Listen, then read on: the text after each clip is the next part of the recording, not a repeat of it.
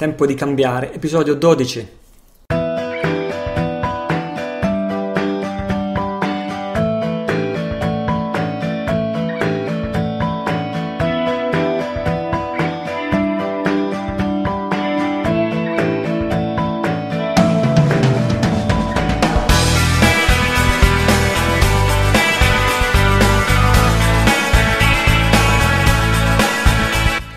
Sono Vito Lucillo, questo è il mio podcast www.tempodicambiare.it all'indirizzo web dove trovi archiviati tutti gli episodi precedenti e anche futuri di questo podcast. Il mio consiglio è sempre quello di scaricare l'audio in formato MP3 sul tuo smartphone, sul tuo iPod e così via, sul tuo lettore, così lo puoi ascoltare mentre fai altre cose, questo è sicuramente ideale, per esempio mentre passeggi all'aria aperta o ti sposti in auto o durante uno dei tanti tempi morti che di solito si creano nel corso della nostra giornata. La cosa più sconsigliata è ascoltarlo mentre fai altre cose, perché questo non ti aiuta a riflettere. Quindi mentre aggiorni il tuo profilo Facebook o mentre rispondi alle mail, no, questo francamente te lo sconsiglio, ma è solo per il tuo bene, sei naturalmente libero di fare come credi. Novità di questa settimana, da quando ci siamo sentiti l'ultima volta giovedì scorso? Ebbene sì, i greci hanno votato e hanno votato per i partiti che sono a favore della permanenza all'interno dell'euro. Di commenti ho letti tanti, quello che mi sembra più azzeccato è quel commentatore che diceva la paura ha prevalso sulla rabbia. La rabbia era quella che faceva dire al diavolo l'euro e tutti gli eurocrati, e la paura invece è quella che faceva dire eh, se però usciamo dall'euro perdiamo tutto, rimaniamo in miseria almeno per alcuni anni. Paura e rabbia quindi sono, sono, entrambe emozioni distruttive, oltre che strettamente collegate, perché la rabbia sorge sempre dalla paura. Senza paura non c'è rabbia. Però ecco appunto, sono entrambe distruttive, ma fra le due la paura è sicuramente la più profonda ed è sicuramente la più profondamente distruttiva fra le due. E quindi eh, non a caso hanno reagito alla paura i greci piuttosto che alla rabbia. E, ehm, se fossero usciti dall'euro avrebbero avuto davanti a sé sacrifici, lacrime, sudore e sangue e su questo non ci piove, però con buone probabilità di risollevarsi nel giro di pochi anni, l'abbiamo già visto succedere l'Argentina e in mille altri casi. Essendo rimasti nella zona euro, invece, adesso hanno davanti a sé sacrifici, lacrime, sudore e sangue, infatti, anzi con l'aggravante che il crollo è soltanto rimandato di qualche tempo e questo dimostra cosa? Dimostra che l'essere umano preferisce rimandare i problemi, mettere la testa sotto la sabbia, preferisce la gratificazione immediata piuttosto che non rimboccarsi le maniche e lavorare alla risoluzione a lungo termine di un problema, soprattutto quando questo comporta qualche sacrificio. Che dire, auguri ai greci. Il problema è rimandato non solo per loro, il problema è rimandato per tutti noi sulle pagine animatissime del nostro blog, che anche stavolta ha ampiamente superato i 600 commenti. E questo dice tutto, la dice lunga, 600 commenti su una sola pagina la dice lunga sul, sul, sul, sul successo, come dire, sulle corde profonde che stiamo toccando uh, con questo podcast e col pubblico che stiamo raggiungendo. Nuova novità della settimana, sulle pagine del nostro blog è spuntata la proposta di un incontro estivo soprattutto per il piacere di conoscerci e di incontrarci, il popolo di tempo di cambiare. E nelle parole di Martino, che ha lanciato la proposta per primo, ha, ha, scritto per vedere cosa farne di tutte queste informazioni che stiamo digerendo attraverso il podcast. E dunque, quale migliore occasione se non incontrarci di persona, conoscerci, guardarci negli occhi e così via ai primi di agosto? Bene, io ho dato entusiasticamente la mia adesione, ci sarò Adesso la cosa è nelle mani di questo spontaneissimo comitato di organizzazione che sta appunto vagliando diverse possibilità. Ci sono alcune sfide organizzative e difficoltà sicuramente perché siamo ad agosto e ad agosto prenotare qualsiasi cosa con un mese di anticipo è quasi proibitivo, però l'incontro si farà di certo perché c'è la volontà, c'è l'ammissione, le migliori intenzioni e quindi a questo punto l'incontro si farà di certo. Il primo incontro dal vivo riservato, se così posso dire, al pubblico di tempo di cambiare, agli amici di tempo di cambiare. 3, 4-5 agosto 2012. Segnati queste date 3, 4 e 5 agosto 2012, venerdì, sabato e domenica. L'incontro è aperto a tutti, assolutamente, tutte le persone di buona volontà, di qualsiasi background eh, sia, sono attese a braccia aperte. L'idea è quella di conoscerci, di fare amicizia, tanto per cominciare, spiriti animati dalla stessa intenzione di migliorare il mondo c'è fin troppa solitudine e isolamento nelle nostre vite. Cosa c'è di meglio di incontrarci e scambiare le nostre idee? Soprattutto avviare gruppi di lavoro in certe direzioni concrete e nella direzione di certi progetti concreti, gruppi di lavoro, gruppi di studio, per iniziare a costruire qualcosa in positivo che sia al di fuori della Matrix, non abbia bisogno di combattere la Matrix, perché combattere la Matrix significa dare energia al sistema e soprattutto, come abbiamo già tante volte ripetuto questo, in questo podcast, qualcosa che non abbia bisogno di aspettare il crollo della Matrix, costruire un nuovo sistema senza aspettare che il vecchio crolli. Quindi ci saranno proposte concrete, esperienze di discussione, ci sarà qualche esperienza di meditazione se lo vorremmo, questa è un po' la mia specialità, introdurre in modo semplice chi inizia completamente da zero, senza alcuna esperienza precedente, al mondo della meditazione, ma giusto come un, una cosa al lato. Non occorre background, non occorre esperienza, non occorre aderire ad alcuna fede o alcuna ideologia. Uh, è un incontro aperto a tutti, aperto a tutte le persone di buon cuore che hanno l'intenzione positiva di migliorare il mondo in compagnia di altre persone simili a noi. Spero che tu metta da parte queste date sulla tua agenda, sul tuo, sul tuo calendario. Certamente ti darò aggiornamenti il, al prossimo episodio, la prossima settimana. E poi, dopodiché, cor- occorrerà iscriversi rapidamente per bloccare la struttura eh, che stiamo cercando.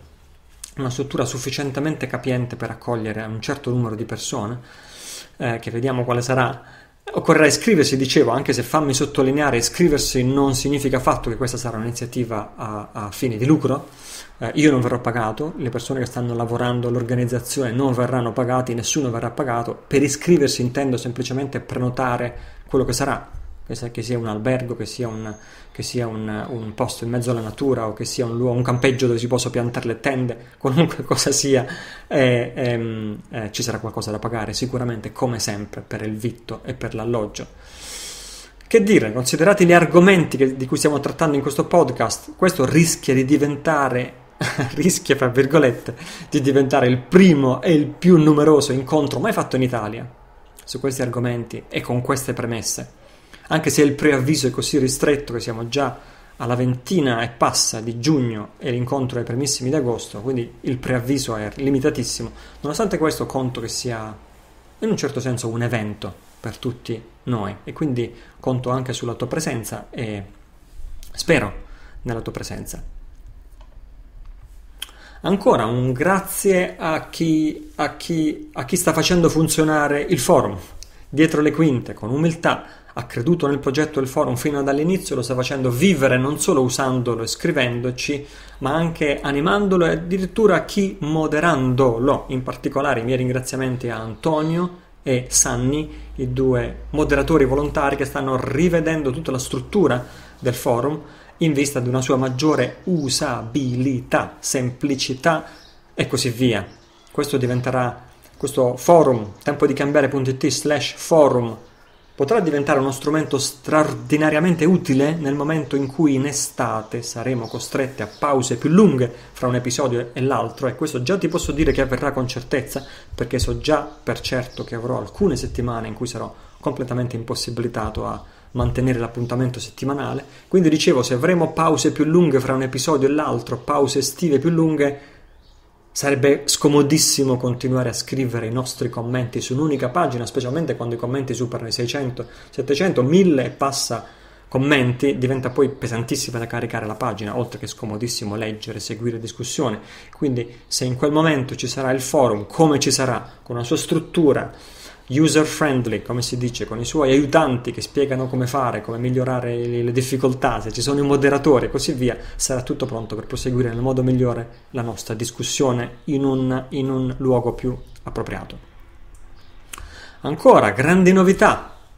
Andrea, il protagonista della lettera di accettazione condizionata del debito nei confronti della propria banca, ha messo incredibilmente e generosamente a disposizione di tutti gli ascoltatori di tempo di cambiare la lettera che ha scritto la banca e che ha fatto improvvisamente cambiare idea, cambiare atteggiamento e diventare docili dall'oggi al domani i funzionari della sua banca. Questa lettera è stata aggiunta alle risorse ed è, e la puoi scaricare liberamente. Grazie ad Andrea, non ci aspettavamo tanto, non era eh, certo, non era dovuto da parte tua, lo considero un grande eh, gesto. Eh, Andrea, quindi grazie, veramente grazie, grazie a nome di tutto il pubblico di Tempo di Cambiare. Qui la leggo rapidamente, ovviamente ci sono, la potrai scaricare, è fra le risorse, ma poi è ci sono anneriti riferimenti per, mm, a tutela della privacy. La banca comunque, dice Andrea, è giusto che si sappia qual è, perché questi sono istituti pubblici che non hanno bisogno di... è la Banco San Geminiano e San Prospero. Banca Popolare, Società Cooperativa, Banco San Geminiano e San Prospero, area affari Modena Sud, eccetera, eccetera. Accettazione condizionata e verifica del debito. In riferimento alla vostra raccomandata, eccetera, eccetera, eccetera presso la succursale eccetera eccetera, formula la presente per informarvi che lo strumento negoziale è stato accettato per valore alla prova di credito. Cioè qui Andrea sta dicendo, quello che mi avete scritto io lo accetto. Cioè non inizia con un rifiuto, no? quindi mettendosi, mm, mettendosi contro, ma dice quello che avete scritto è stato accettato e quello che avete scritto potrà essere motivato inoltrando la previa verifica dei dati di debito entro non oltre il 16-6-2012. Mette anche una scadenza ultimativa e questo è un eccellente atteggiamento perché, come dire, anch'io non ho tempo da perdere con voi, no? Così come voi non avete tempo da perdere con me. In particolare chiedo di avere copia contratto originario del conto corrente, contratto originario di apertura del credito, contratto originario di mutuo chirografario, numero, eccetera, eccetera, contratti e convenzioni successive tutti gli estratti trimestrali da giugno 2010 a marzo 2012, che diceva Andrea non era riuscito ad avere, tutta la documentazione attestante il calcolo degli interessi, il calcolo delle spese e il totale delle competenze addebitate sul conto corrente numero, eccetera, eccetera, eccetera. Allo stato attuale, nonostante le ripetute segnalazioni al personale interno, la succursale di puntini puntini, a partire da ottobre 2011 non siamo in grado di effettuare suddetta verifica dei dati di debito a causa di carenze documentarie. Ottimo, quindi questa è la condivisione. Come vedi questa, questa lettera è fin, troppo, è fin troppo tenera nei riguardi della banca rispetto a quella che abbiamo pubblicato e a cui si ispira, cioè la lettera che ha fatto cancellare un debito di 74 mila dollari australiani ed è nell'episodio numero 9 è, un, è, una revisione di questa molto più tenera nei confronti della banca. Quello diceva dimostratevi che nel fare, dimostratemi innanzitutto che nel fare questo prestito avete subito una perdita, no? Lì intendeva dire io so benissimo che voi il denaro l'avete creato dal nulla e quindi cosa, cosa pretendete adesso? Poi numero due dimostratevi che avete, dimostratemi che eh, eh, esiste denaro di valore in grado di eh, di ripagare questo debito, eccetera. Insomma, una serie di condizioni veramente molto, molto, molto pesanti. Eppure, senza arriva- essere arrivato a tanto, Andrea, con una lettera garbatissima, ha ricevuto una preoccupatissima lettera dal, dal, da parte del funzionario di banca che ha detto uh, uh, uh, che succede, non potrebbe venire qui a discuterne con noi e così via. No? Quindi ehm, Interessante, grazie Andrea per aver condiviso e sicuramente auspico sulle pagine di questo podcast e in seguito sul forum eh, e così via un maggiore coordinamento di coloro che lavorano in questa direzione e che sono, ripeto, sotto l'aggressione del sistema e hanno qualcosa da mettere al riparo o da salvare rispetto a queste aggressioni. Parliamo di banche, parliamo di Equitalia, parliamo di tasse e così via. Um, che dire, infine, sempre siamo in tema di...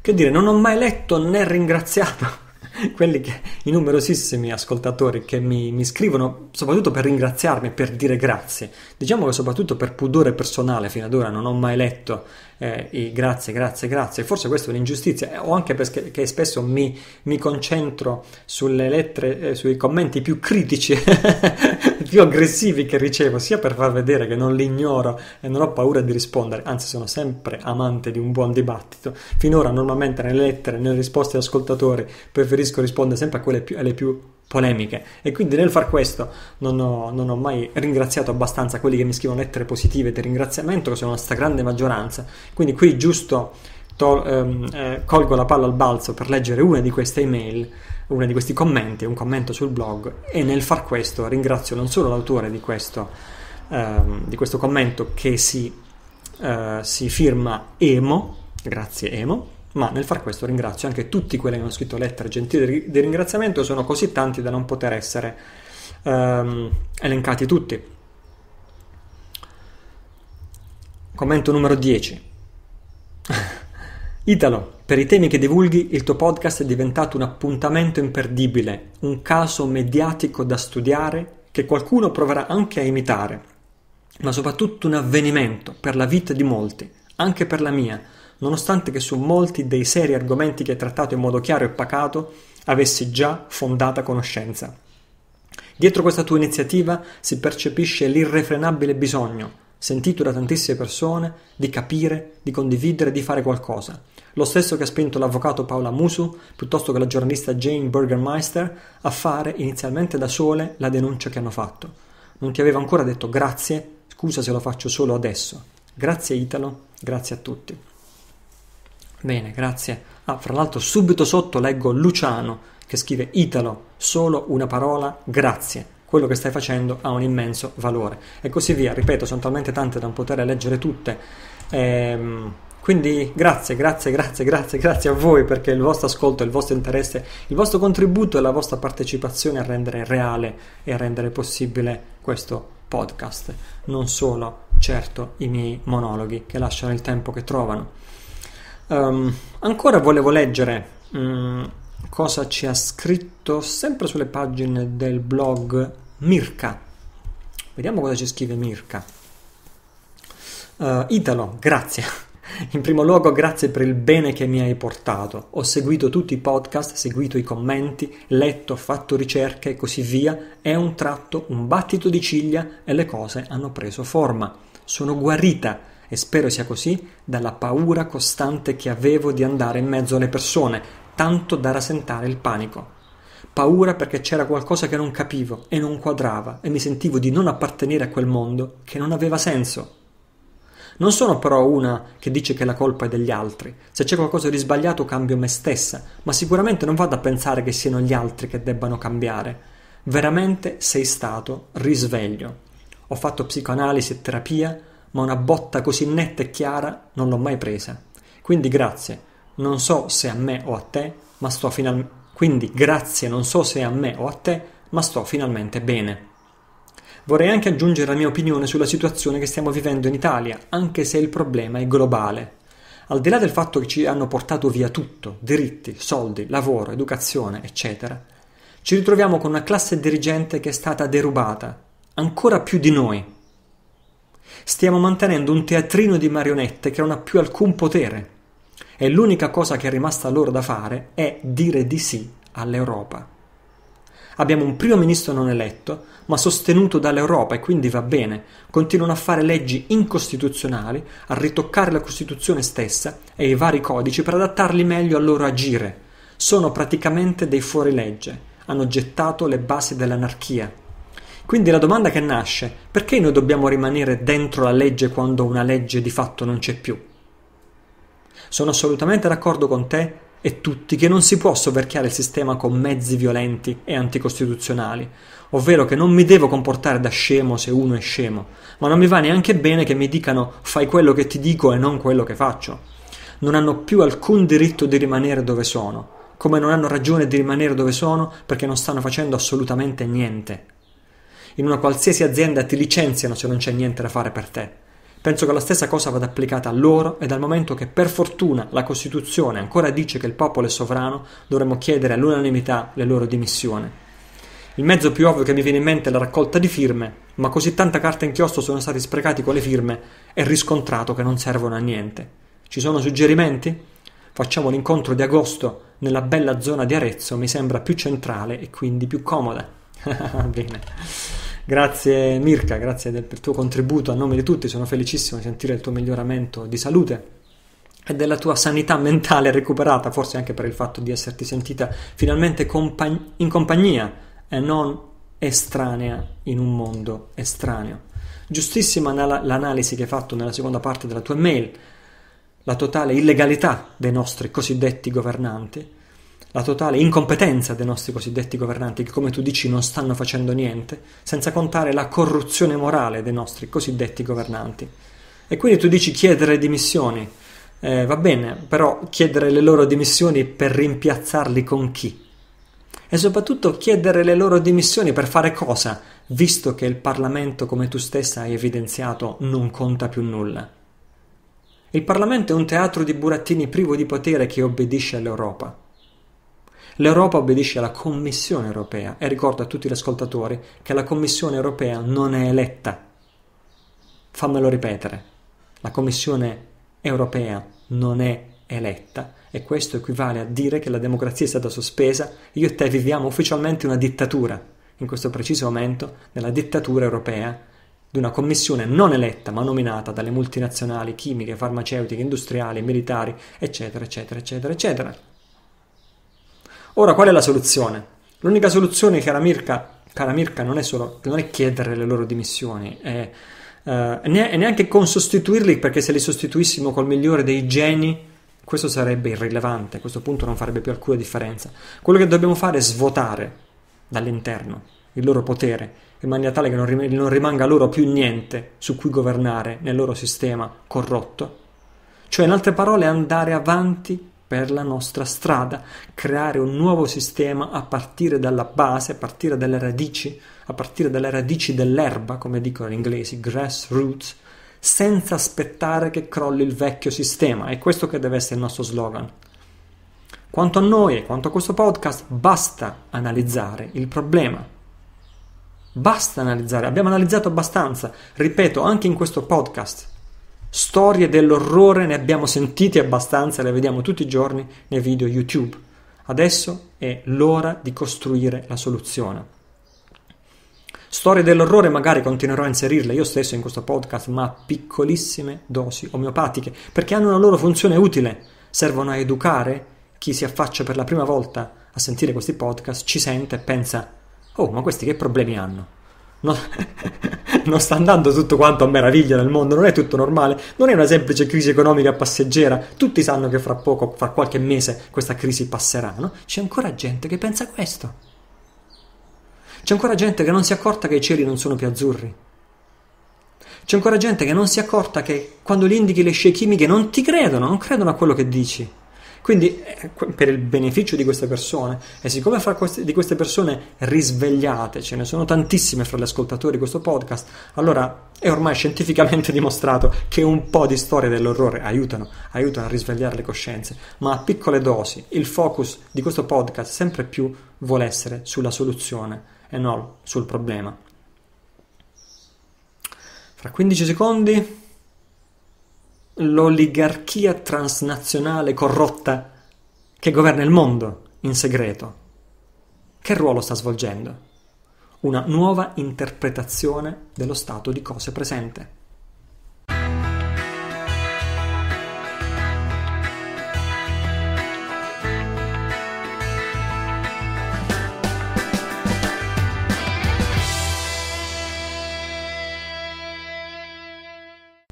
Tanti anni fa, in una delle mie esplorazioni nel mondo dell'alimentazione naturale e delle medicine naturali, che come sai è una delle mie passioni e interessi, incontrai gli insegnamenti della dottoressa Hulda Clark, una dottoressa canadese.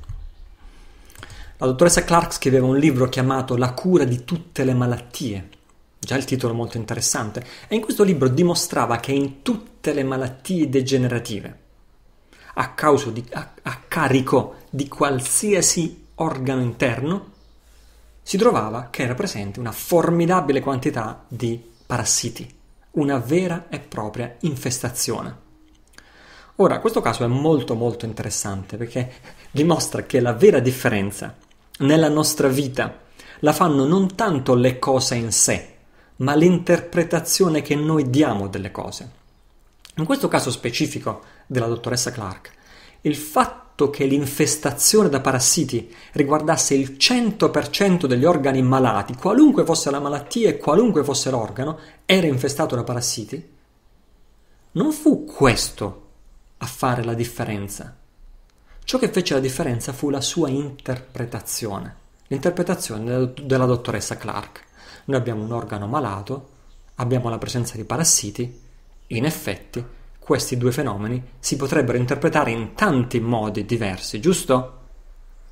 Lei decise di interpretarlo in termini di causa ed effetto, cioè se abbiamo la malattia a, ca- a carico di quest'organo è perché i parassiti hanno infestato quest'organo. Quindi la teoria, quindi la filosofia espressa da questo libro batteri e parassiti sono fondamentalmente corpi estranei, non solo, sono fondamentalmente i nostri nemici, i nostri organi, e quella teoria è interessante, non è priva di interesse, i nostri organi, diceva la dottoressa Clark, sono tenuti insieme, sono tenuti in salute da una forma di energia. Questa energia tiene insieme l'organo, ma che cos'è l'energia? L'energia non è altro che informazione. Le cellule comunicano fra di loro, si scambiano informazioni le cellule all'interno di un organo. Questa comunicazione forma in un certo senso la coscienza dell'organo, cioè il senso di identità di quest'organo, che finché si conserva questo senso di identità, l'organo diventa inattaccabile a qualsiasi aggressione esterna.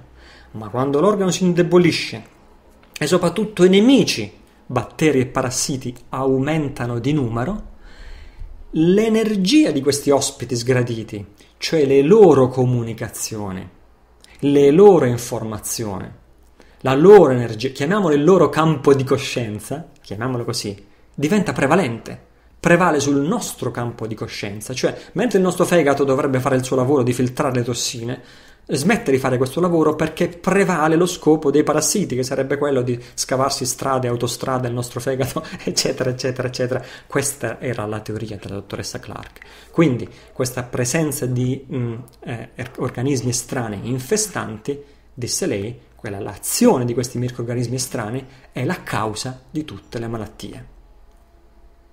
Ora, questo è un modello. Che cos'è un modello? Un modello è un'idea applicata a qualcosa. Come tutte le teorie, questo è anche un modello e come tutti i modelli è rispettabile. Il punto è non è se è vero o no, perché tutti i modelli alla fine sono ugualmente veri. Il punto è questo modello è utile o meno.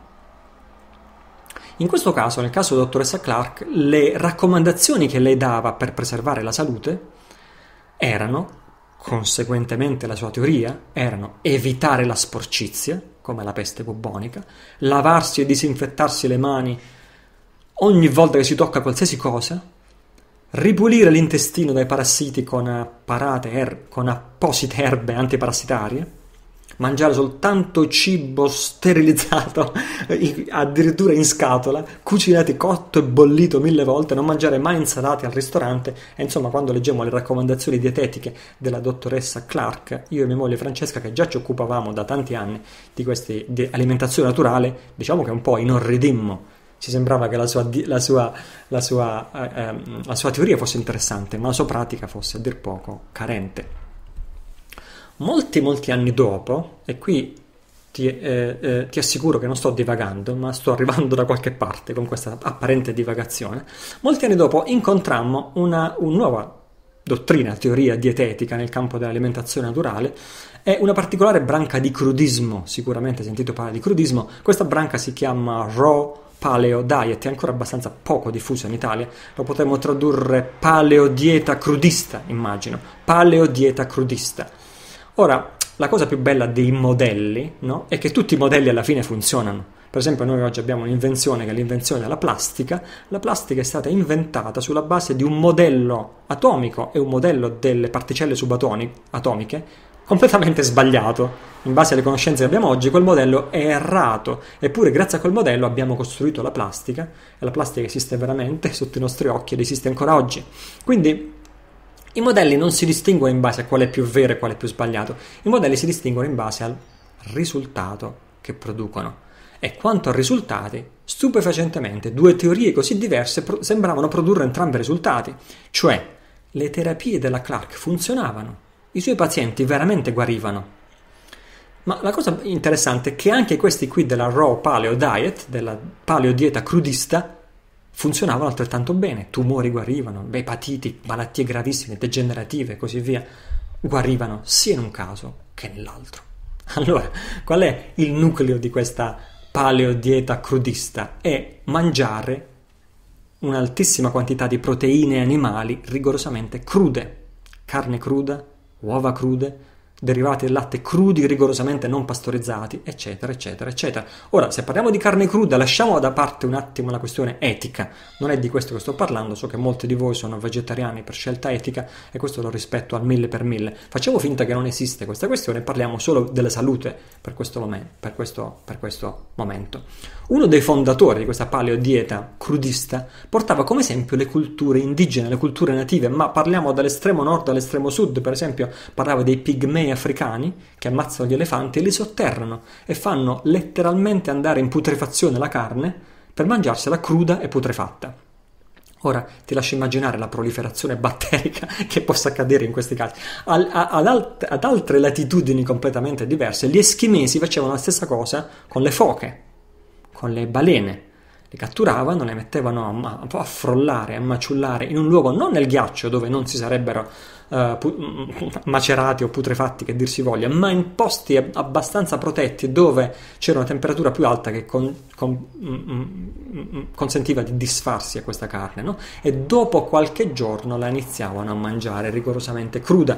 Ora, negli anni 50 si scoprì dai medici che eh, erano lì presso gli eschimesi che il cancro era assolutamente sconosciuto presso gli eschimesi e la loro dieta che era praticamente 90% colesterolo perché questi mangiavano fochi e grasso di balena crudi allora, il loro sangue presentava zero tasso di colesterolo nel sangue nel senso non avevano assolutamente eccesso di colesterolo nel sangue. Tutto questo attenzione prima che arrivassero anche da loro lo zucchero bianco e le farine raffinate. Dopo che sono arrivate anche agli eschimesi lo zucchero bianco e le farine raffinate, allora sono iniziati tumori, colesterolo, malattie degenerative, eccetera, eccetera, eccetera. Quindi parliamo della dieta antichissima nativa. Qual è la teoria che sta alla base? Ti prometto che non sto divagando e eh, arrivo da qualche parte. La, teoria, la teoria che sta alla base è la teoria degli enzimi, cioè quando la foca morta inizia a disfarsi, que- quegli enzimi sono già presenti intrinsecamente nella foca e sono quelli che la autodistruggono in un certo senso quando smette di vivere. Allo stesso modo, se noi lasciamo questi enzimi vivi e la foca ce la mangiamo cruda, saranno questi stessi enzimi a digerirla velocemente senza sovraffaticare il nostro organismo che dobbiamo noi produrre gli enzimi per digerire una foca cotta.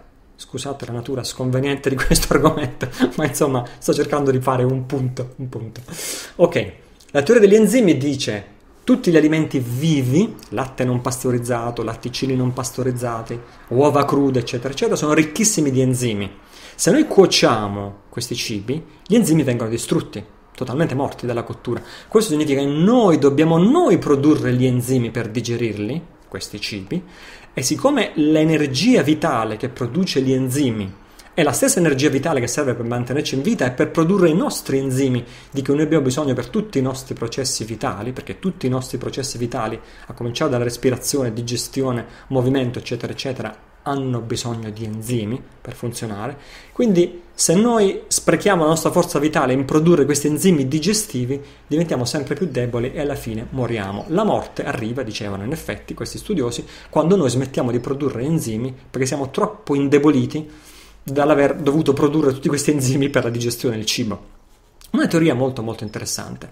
Eh, se ti interessa, se leggi dall'inglese ti posso interess- consigliare un libro molto interessante per approfondire questo, si chiama We Want to Live, ovviamente non esiste in italiano, We Want to Live è un librone che puoi ordinare da Amazon, è bellissimo, ma in realtà se vuoi la scorciatoia ti raccomando www.energytraining.it, energytraining.it che è il programma di mia moglie che ti spiega come applicare poi questa dieta anche questa dieta crudista concretamente nella tua vita.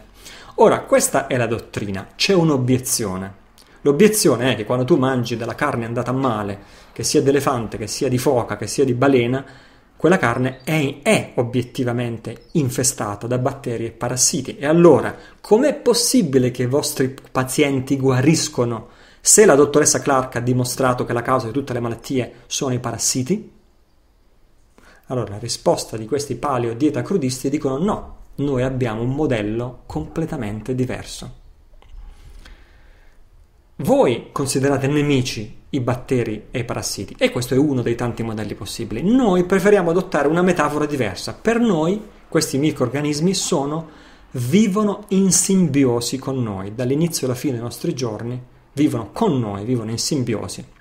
In altre parole, i batteri e i parassiti sono quegli amici, sono quegli alleati che restano pazientemente all'interno del nostro organismo sempre, comunque anche quando fai una dieta di tutto cotto e tutto bollito non riesci mai a debellare batteri e parassiti completamente, stanno sempre dentro di noi dal primo all'ultimo giorno e cosa fanno?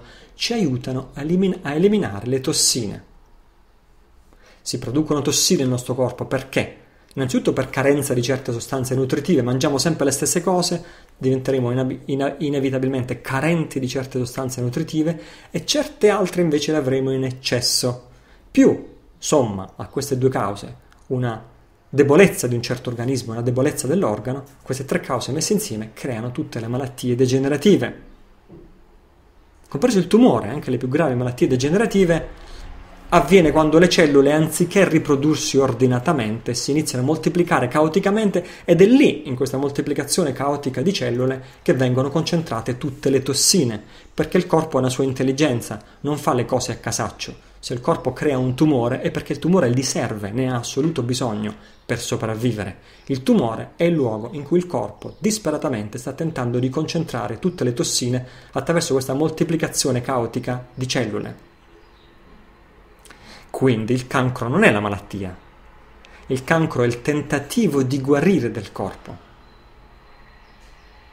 La malattia è quello che facevi prima. La malattia è il cattivo stato di vita, la mala nutrizione. Quella era la malattia. Quando il tuo corpo cerca di guarire, quella è la guarigione o tentativo di guarigione. Ed è qui che intervengono i microorganismi simbiotici, batteri, parassiti, eccetera, eccetera, inserendo altissime quantità di proteine animali crude, uova, latte, derivati, eccetera, eccetera, crudi e non pastorizzati. Innanzitutto tu dai nutrimento di altissima qualità mancante alle tue cellule, ma soprattutto quella, quella, quella eh, percentuale di batteri e parassiti che tu introduci nel tuo corpo non fanno altro che trasformarsi in alleati e accelerare la tua guarigione. Cioè ci sono sempre due aspetti in tutto, un aspetto cosiddetto positivo e un aspetto cosiddetto negativo. L'aspetto cosiddetto positivo è la concentrazione di nutrienti in queste sostanze, cioè le proteine animali. L'aspetto apparentemente negativo sono i batteri e i parassiti, ma in realtà entrambi sono positivi, perché mentre uno ti nutre, l'altro elimina ciò che ti fa male, cioè le tossine. I parassiti, i batteri, mangiano ciò che è già marcio, ciò che è già andato a male, come dimostrano le scoperte della dottoressa Clark se sono interpretate in maniera diversa. In un organo mm, mm, colpito dal tumore si concentrano tutti i parassiti proprio perché è lì che questi parassiti stanno andando a distruggere le cellule in più, le tossine e così via, lì dove serve. I parassiti non hanno alcun potere sulle cellule sane. Ora, ti avevo promesso che sarei arrivato da qualche parte. Cosa c'entra tutto questo con la nostra liberazione dalla Matrix, con la nostra liberazione da questo sistema, dall'oligarchia corrotta, dal nuovo ordine mondiale, eccetera, eccetera, eccetera? In un certo senso c'entra e come? Perché oggi voglio proporti un'ipotesi, cioè un modello. Un modello è un'idea applicata a qualcosa. E se l'oligarchia corrotta che governa il mondo in segreto, anziché essere simile a un nemico, fosse in realtà più simile ai batteri e ai parassiti, che distruggono solo quello che è già marcio, perché non hanno alcun potere su ciò che è sano. Questa è l'ipotesi. Ora siamo governati da dementi, su questo non ci piove, nessuno sta cercando di giustificarli, nessuno sta cercando di assolverli, però analizziamo. Qual è la funzione che stanno svolgendo nel mondo in questo momento? Questi governanti che ho appena definito dementi stanno dimostrando che stanno distruggendo tutto. La, la crisi è iniziata nel 2007, siamo nel 2012, sono passati 5 anni, tutto quello che hanno fatto ha avuto il solo scopo di aggravare questa, questa crisi. Un, un, un, laureato fresco fresco di economia e commercio, totalmente inesperto di esperienza di vita, sarebbe più capace dei nostri governanti di risolvere una crisi economica. Qualsiasi cosa hanno fatto in cinque anni ha aggravato il problema. Allora, la loro missione è distruggere, a questo punto è evidente. Se avessero voluto porre un rimedio a questa situazione, anche per sbaglio alla fine ci sarebbero arrivati. No, la loro missione è distruggere, stanno distruggendo la nostra società, il nostro mondo, la nostra economia, ma attenzione, cos'è che stanno distruggendo in effetti? Soffermiamoci a chiedercelo.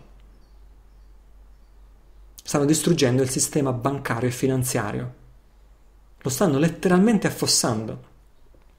Però dall'altra parte chiediamoci, ti sembra che ci sia qualcosa di sano in questo sistema bancario e finanziario? Stanno distruggendo un'economia basata sul debito.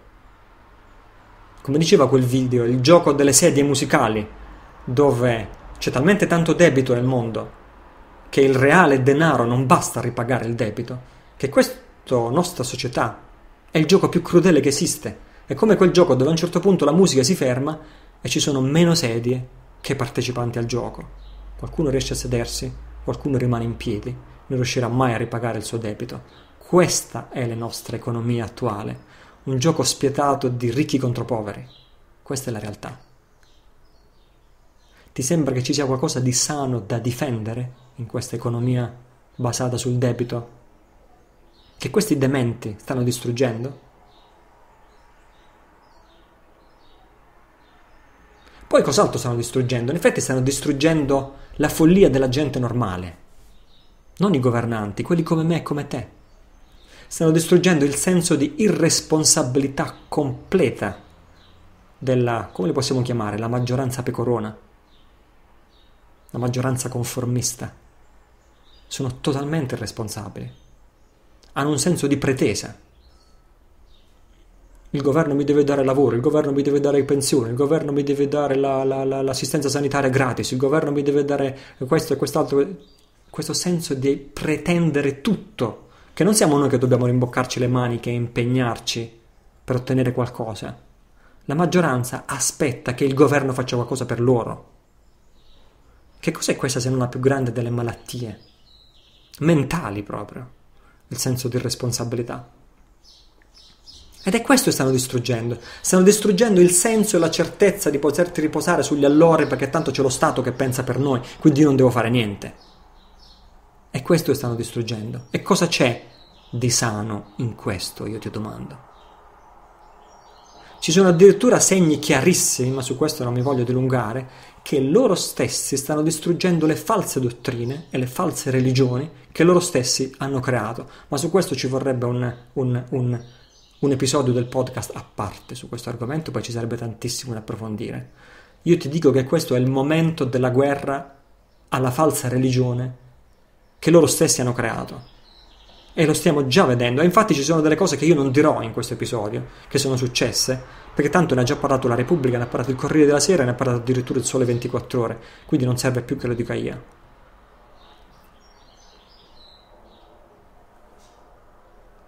Così stanno distruggendo, alla fine, distruggendo il tessuto sociale, distruggo il nostro egoismo in cui ognuno di noi si isola in una torre di cristallo, come si dice, in realtà una torre d'avorio, dove ognuno pensa ai fattacci propri.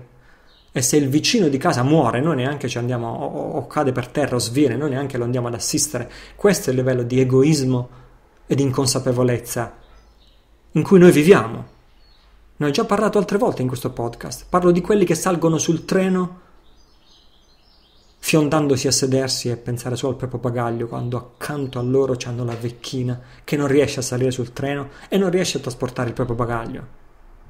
Questo è l'egoismo e l'inconsapevolezza che stanno affossando i parassiti, perché fra un po' le cose tal- andranno talmente male che saremo costretti ad aiutarci gli uni con gli altri. Cosa c'è da salvare in tutto questo che ho nominato fino adesso? Non c'è niente da salvare. Allora, se questa ipotesi che io sto facendo, facciamo un'ipotesi, sospendiamo un giudizio per un attimo e accettiamo provvisoriamente questa premessa. Se accettiamo questa ipotesi, a questo punto resta solo da capire la malafede. Perché la malafede? Perché sembra che pochi stanno diventando ricchissimi? Qual è lo scopo di tutto questo, del distruggere la nostra economia? Sono molti che hanno fatto notare le privatizzazioni. L'economia viene distrutta, arrivano pochissimi e si comprano tutto, tutte le aziende, tutte le proprietà, tutti i beni immobiliari, il demanio dello Stato, l'oro, l'argento, i metalli preziosi, tutte le ricchezze di uno Stato ex sovrano. Le utilities, l'acqua, la luce, il gas, l'olio, il petrolio, eccetera, eccetera, eccetera, eccetera. Pochissimi diventano ricchissimi e tantissimi stanno diventando poverissimi. Perché questo? Beh, a, parte che a questa domanda potremmo anche tranquillamente non rispondere, potremmo anche metterla da parte, perché conoscere le motivazioni profonde, fra virgolette, dei batteri e parassiti simbiotici non ci interessa, non cambia la realtà di fatto. I batteri e parassiti possono ess- anche essere interessati a se stessi, e sicuramente lo sono, sono interessati solo a se stessi, però ciò non cambia la realtà di fatto. La realtà di fatto è che eh, digeriscono le nostre tossine, distruggono le nostre tossine quindi non cambia la loro motivazione soggettiva. Però a parte questo, ecco, di spiegazioni per questa malafede ce ne sarebbero a iosa. Tanto per cominciare, loro, i potenti, potrebbero dire, giustamente, visto che siete così stupidi da credere in questa Matrix, a questo punto ve lo siete meritato. Potrebbero anche pensare questo, no? Beh, in effetti non è un'ipotesi, questo lo dice Barnard, Paolo Barnard lo cita proprio nel video che ho consigliato la scorsa settimana cita i due economisti francesi che parlano fra loro e uno dice all'altro se il popolo europeo è così stupido da credere che l'euro è stato fatto per il loro beneficio, e allora se lo meritano proprio. Credo che questa frase dica tutto e descriva la realtà.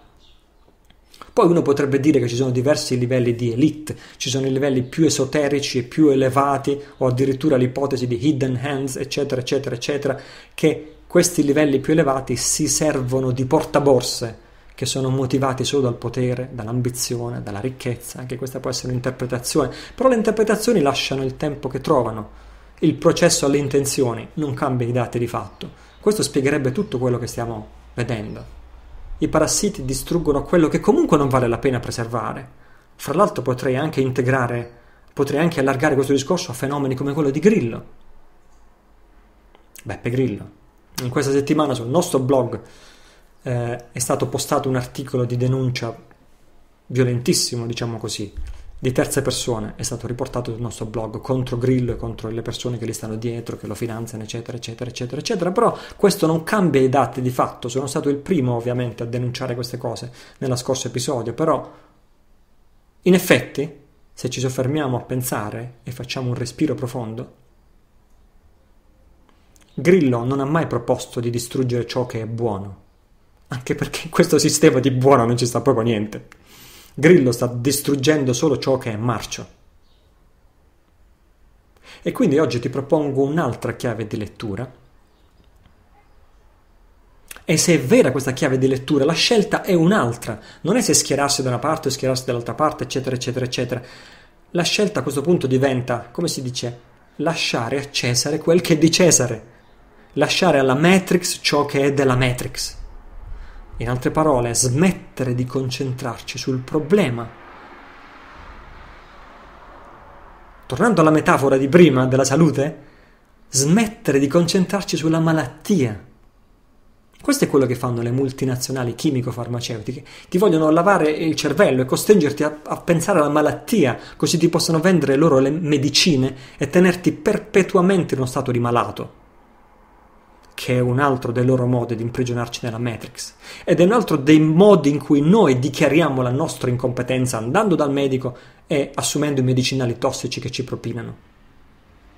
Il benessere non si conquista prendendo medicine contro la malattia.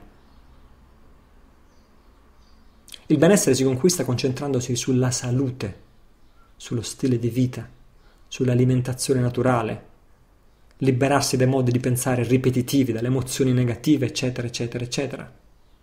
Così allo stesso modo, applicato agli argomenti del nostro podcast, possiamo continuare a concentrarci ossessivamente sul problema, oppure possiamo decidere per una volta di concentrarci sulla soluzione. Cioè, quello che vado ripetendo dall'inizio, vivere seguendo un nuovo sistema senza neppure aspettare che cada il vecchio.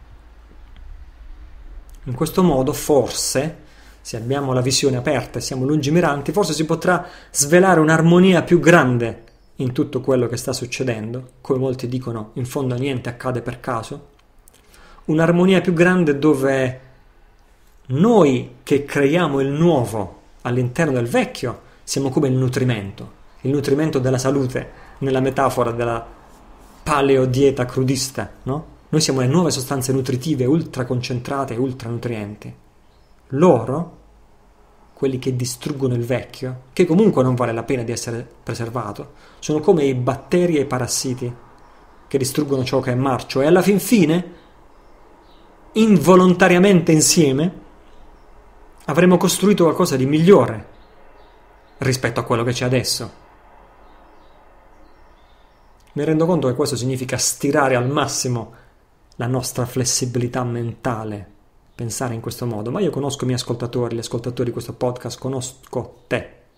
Sono certo che non ti tirerai indietro quando si tratta di riflettere più a fondo su queste cose e di pensare con la propria testa. Continuiamo il discorso fra 15 secondi.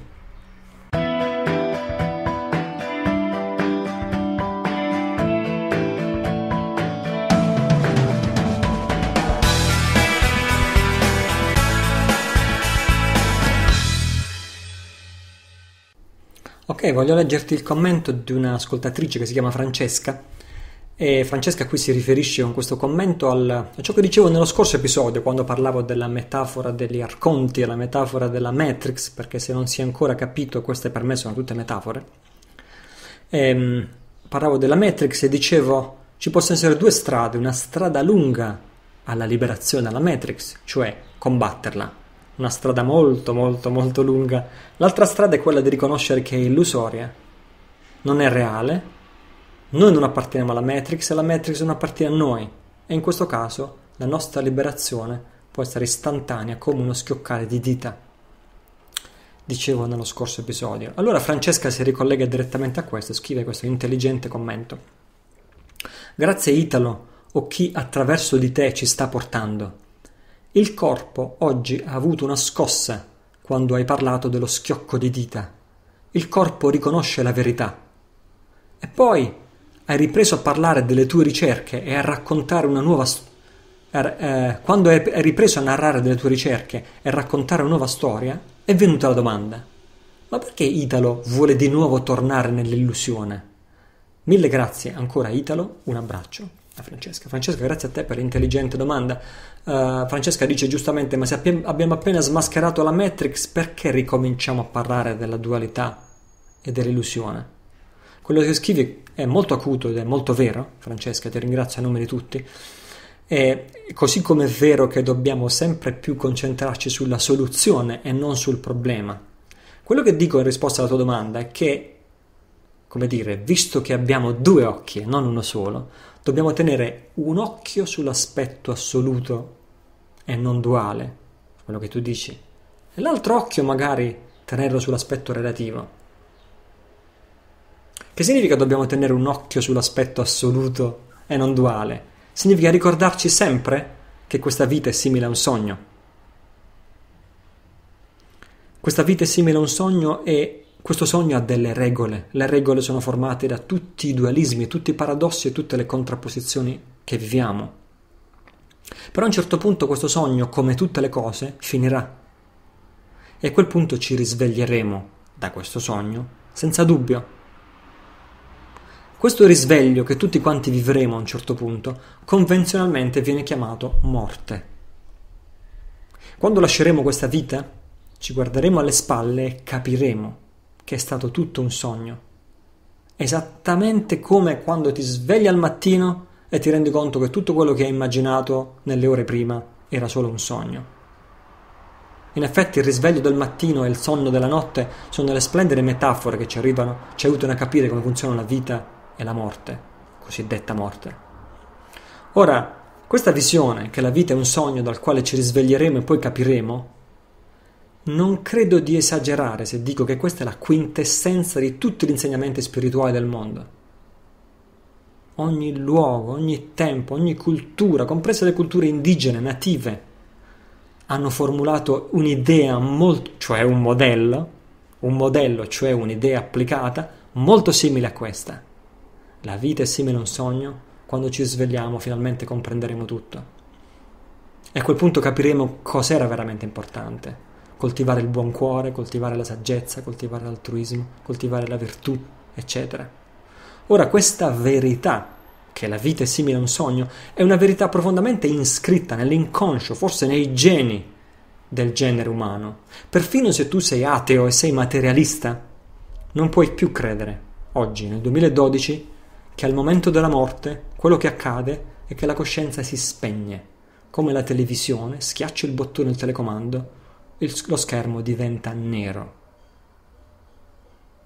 Non puoi credere, se sei ateo o materialista, che dopo la morte sperimenteremo il nulla, perché il nulla non esiste. Non c'è nessuno al mondo che abbia ancora mai sperimentato il nulla.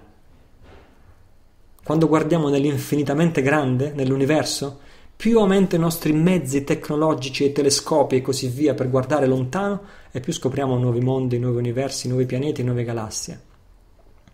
Quando guardiamo nell'infinitamente piccolo, più diventano potenti i nostri strumenti, più scopriamo nuove cose.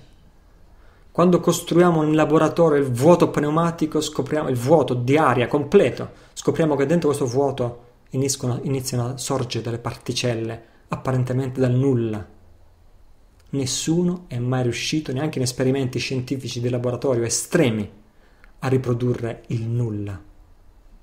Da una parte. Dall'altra parte ci sono ormai migliaia di libri, basta che ti vai a fare una passeggiata in qualsiasi libreria o su Amazon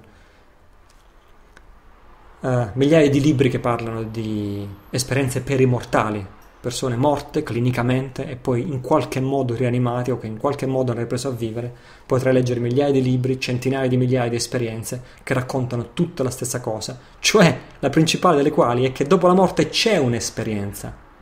La morte non, la, la coscienza o consapevolezza o mente che dir si voglia non cessa al momento della morte, perché l'esperienza prosegue quindi questo è quello che noi non dobbiamo dimenticare mai, l'aspetto assoluto della nostra vita, l'aspetto non duale, l'aspetto che tutto questo è un'illusione, tutto questo è simile a un sogno, tutto questo è una matrix. È questo che intendevo prevalentemente quando parlavo di eh, illusione nello scorso episodio. E noi dobbiamo sempre tenere un occhio su questo aspetto assoluto perché ci aiuta a essere consapevoli di quello che sta accadendo. Però siccome abbiamo due occhi, l'altro occhio dobbiamo tenerlo sull'aspetto relativo, sull'aspetto duale, sull'apparenza, sui contenuti del sogno. In fondo ci tocca, dobbiamo farlo per forza, perché è qui che siamo nati. Se siamo nati in questa dimensione un motivo ci sarà pure. Vuol dire che dobbiamo prendercene cura in qualche modo. E questo significa chiarificare a noi stessi la nostra posizione nel mondo e soprattutto significa unirci con i nostri simili, metterci insieme per creare un mondo migliore rispetto a come l'abbiamo trovato. Ora la consapevolezza, la sfida della persona consapevole, la parte difficile, consiste nel fare questo senza mai, cioè occuparci del relativo senza mai perdere di vista l'assoluto, cioè chi siamo, da dove veniamo e dove ritorneremo molto presto o presto o tardi. Il che significa rivolgere il nostro sguardo al duale, alla realtà concreta di tutti i giorni, anche se simile a un sogno, senza però mai farci trascinare nelle emozioni distruttive, nell'odio, nella rabbia, senza mai drammatizzare.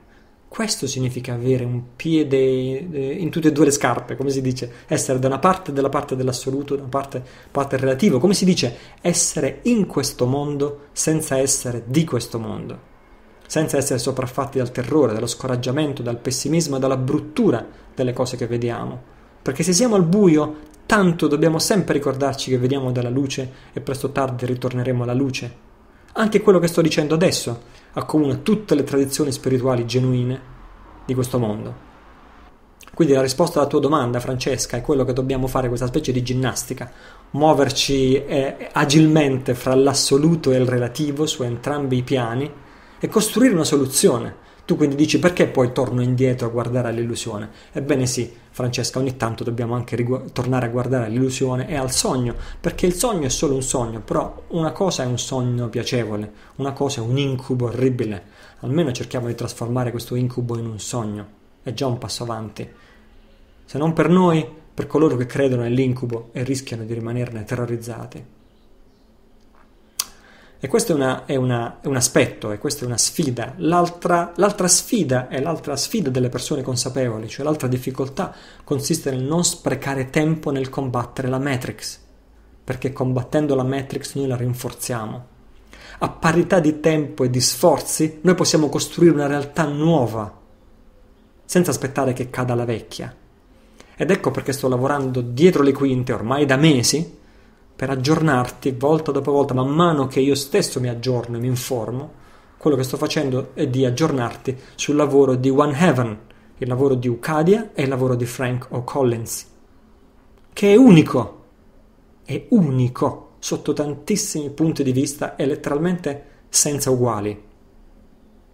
Anzitutto perché parte, da, parte dall'individuo, non parte dai movimenti di piazza, dal tirare le pietre contro la polizia, da occupare il Parlamento, eccetera, eccetera. Sappiamo come vanno a finire quelle cose. Parte dall'individuo, parte dalla sovranità individuale, parte dal trasformare l'individuo in un sovrano al pari di una nazione, non uno schiavo, una batteria che serve per alimentare il sistema bacato. Quello è il primo passo, partire dall'individuo e liberarlo, renderlo sovrano. Il passo successivo dell'idea di Ucadia passa al livello della comunità, perché negli esempi che abbiamo visto nell'episodio 9 di questo podcast, sovranità individuale, sovranità applicata, eccetera, eccetera, alla fine cos'è che proponevano tutte quelle persone? Proponevano ognuno per sé. Io sono un'isola a sé stante, io sono un individuo sovrano, non rispondo a nessuno, ognuno per sé. Questo è un po' il modello isolazionista americano, no? dell'uomo forte isolato dal mondo. Ma, ma non è con questo che possiamo risolvere i problemi del mondo. Le soluzioni si creano nella comunità. Le soluzioni si, stro- si, creano quando un individuo sovrano inizia a interagire con un altro individuo sovrano e un altro e un altro ancora e si crea una comunità sovrana. E l'unico che ne sta parlando, descrivendo e realizzando con tale lucidità è Ucadia, One Heaven, Frank O'Collins. Poi, e poi non si è fermato qui, ha affrontato di petto il problema più importante di tutti, che è il problema del diritto. Il diritto, cos'è la legge? Cos'è una legge giusta? Perché quando siamo io e te, due persone, non c'è bisogno del diritto. Ci mettiamo d'accordo. È già difficile, anche in una coppia, per esempio, però alla fine ci si riesce. Se viviamo in campagna, una comunità agricola di 10 persone, Forse non abbiamo bisogno di diritto, non abbiamo bisogno di leggi scritte. Ci mettiamo d'accordo su come si dice la regola aurea. Non fare agli altri quello che non vorresti. Ma non so perché in italiano lo dicono in negativo, che è orribile. Bene, sappi che la stessa espressione in inglese è al positivo. Comportati con gli altri come vorresti che gli altri si comportino con te. Suona molto meglio, no? Rispetto che al negativo. Questa è la regola d'oro. Se segui la regola d'oro, comportati con gli altri come vorresti. Questa è l'essenza della virtù. In una comunità di 10 persone si può seguire la virtù con un buona dose di successo. Quando arrivi a 100 persone ci vuole sicuramente qualcosa di più, inizi a essere in difficoltà, ma una cittadina, un paesino di 10.000 persone è impossibile che possano 10.000 persone interagire senza il bisogno un diritto e quindi da qui il, l'esigenza di affrontare di petto e risolvere la questione del diritto che, come abbiamo iniziato a dire proprio in questo episodio, i potenti della terra hanno distrutto, hanno fatto a pezzi, realizzando l'anarchia, scrivendo il diritto come pare e piace a loro. Questa assenza di un diritto è anche il motivo per cui tutte le rivoluzioni o sono fallite o hanno peggiorato la situazione precedente. Allora Ucadia e Franco Collins hanno scandagliato tutta la storia del diritto di tutti i tempi e di tutti i luoghi, oltre decine di migliaia di documenti di legge, a iniziare dai codici sume- sumeri, e ne hanno estratto l'essenza del diritto, per poi riformularla. L'essenza del diritto, cioè la giustizia. Qual è l'essenza del diritto? È che tutti gli uomini sono sottoposti alla stessa legge. Questa è la traduzione della regola d'oro tradotta in termini della legge. Tutti gli uomini sono sottoposti alla stessa legge, e non che i potenti si scrivono le loro leggi a loro comodo, come sta succedendo adesso sotto i nostri occhi col Trattato di Lisbona, con il MES e con la dittatura europea. Quello che dobbiamo ripristinare è che tutti gli uomini sono sottoposti alla stessa legge, non gli uomini di serie A e gli uomini di serie B. E il secondo presupposto è che tutti gli uomini sono uguali di fronte a quella stessa legge. Quindi nell'affrontare questo e non scrivere 33 codici, 33 canoni di diritto, non uno o due, 33, in Ucadia, si è e questo è stato un lavoro di 25 anni, si è deciso di cominciare dalla fine. Anziché cominciare dall'inizio, cominciamo dalla fine. Prima per 25 anni sono stati stesi questi, questi canoni di diritto che permettono a una società piccola di 10 persone, poi 100, 1000, 10.000, 100.000, milioni e tutto il mondo a, a scalare, no? Quali sono quelle leggi che consentono alle persone di vivere bene e di siano sostenibili in termini di non solo sfruttamento dell'uomo sull'uomo, ma in termini di sfruttamento delle risorse di questo pianeta. Quindi prima è stato fatto questo per 25 lunghissimi, pazientissimi anni e soltanto adesso si sta iniziando a tradurre questo in azione, proprio adesso, mentre io e te parliamo, o mentre io parlo e tu ascolti. Quindi in Ucadia si comincia dalla fine ed è proprio la fine che garantisce il buon esito di qualsiasi azione che noi andremo poi a intraprendere, perché ha delle basi solide. Poi non si è fermata neanche qui. La visione di Ucadia ha affrontato e ha risolto il problema economico e monetario. E adesso ti parlerò un attimo anche di questo perché è centrale, è importantissimo. E poi è unico, la visione di Ucadia, perché ha creato una cornice di riferimento sotto la quale tutti si possono riunire, tutti si possono riconoscere. È un trattato minimo di coesistenza pacifica fra tutti gli uomini del mondo, che è il trattato di un solo cielo. Gli atei si possono riconoscere sotto il trattato di un solo cielo. I materialisti si possono riconoscere sotto il trattato di un solo cielo, le persone con mm, eh, interessi e motivazioni spirituali si possono riconoscere, gli aderenti di qualsiasi tradizione religiosa, perché Ucadia non è una religione. Ogni religione rimane intatta sotto Ucadia. Gli aderenti di qualsiasi tradizione si possono riconoscere nel trattato di un solo cielo, incluso pagani, esoteristi, occultisti, chi più ne ha più ne metta. C'è posto per tutti nel trattato di un solo cielo la, il cui concetto fondamentale è basta guerra nel cielo. Fin tanto che c'è guerra nel cielo, Yahweh contro Allah, Allah contro Yahweh, demoni contro angeli, angeli contro demoni e così via, paradiso contro inferno, e chi deve decidere chi va in paradiso e chi va in inferno. Fin tanto che ci sarà la guerra nel cielo, ci sarà sempre la guerra anche in terra. È un concetto piuttosto facile da capire, un bambino lo può capire. Fin tanto che ci sarà la guerra nel cielo, ci sarà anche la guerra sulla terra. Il trattato di un solo cielo è stipulare la pace nel cielo e la pace sulla terra. Di quante altre guerre mondiali abbiamo bisogno per arrivare a un trattato di questo tipo? E poi la cosa più importante che rende unica Ucadia ai miei occhi rispetto a qualsiasi altro sistema, processo, programma o movimento di sovranità individuale e collettiva è per l'appunto che fornisce un modello completo, che è un processo completo di ricostruzione della società umana partendo dalle basi. Non spreca tempo a entrare in guerra col vecchio sistema, non si limita a finte soluzioni o a finte rivoluzioni. Abbiamo visto l'individuo sovrano che viene dall'America. In Italia abbiamo un caso che è il Principato di Filettino. Un piccolo comune si mettono d'accordo, votano un referendum e diventano uno Stato sovrano, battono moneta, si staccano dall'Italia. Principato di Filettino, lo trovi su internet. Va bene, abbiamo creato il nostro Principato di Filettino e dopo che problemi abbiamo risolto? Che principi seguono le leggi che ci scegliamo? Che natura ha la moneta che batteremo? E così via. In che cosa siamo migliori degli altri? La risposta è in niente. Queste sono false soluzioni. Questa è la cosa più importante, questa è l'unicità di Ucadia. Quindi tutto parte da cosa? Tutto inizia da cosa? Tutto inizia dall'individuo. Quindi tutto inizia da quel documento che ciascun individuo deve capire e deve firmare, perché è il documento che trasforma ogni individuo in sovrano. sovrano sul proprio corpo, sulla propria mente, sulla propria energia, sul proprio lavoro, sul proprio spirito, sul proprio talento e così via, perché è questo che ci stanno rubando o che ci hanno rubato. Ed è proprio a questo documento che si riferiva Franco Collins quando, dicevo un paio di episodi fa, mi ha detto se solo 5 persone in Italia firmassero questo documento, il destino del vostro paese sarebbe alterato per sempre. Questo documento esiste? In realtà è stato appena completato. Tutto quello di cui stiamo parlando si sta completando in questi giorni. E si intitola Will and Testament. Si basa sull'accettazione del trattato di un solo cielo, che è il terreno comune sul quale l'individuo sovrano si vuole incontrare con altri individui sovrani, altrimenti non serve a niente.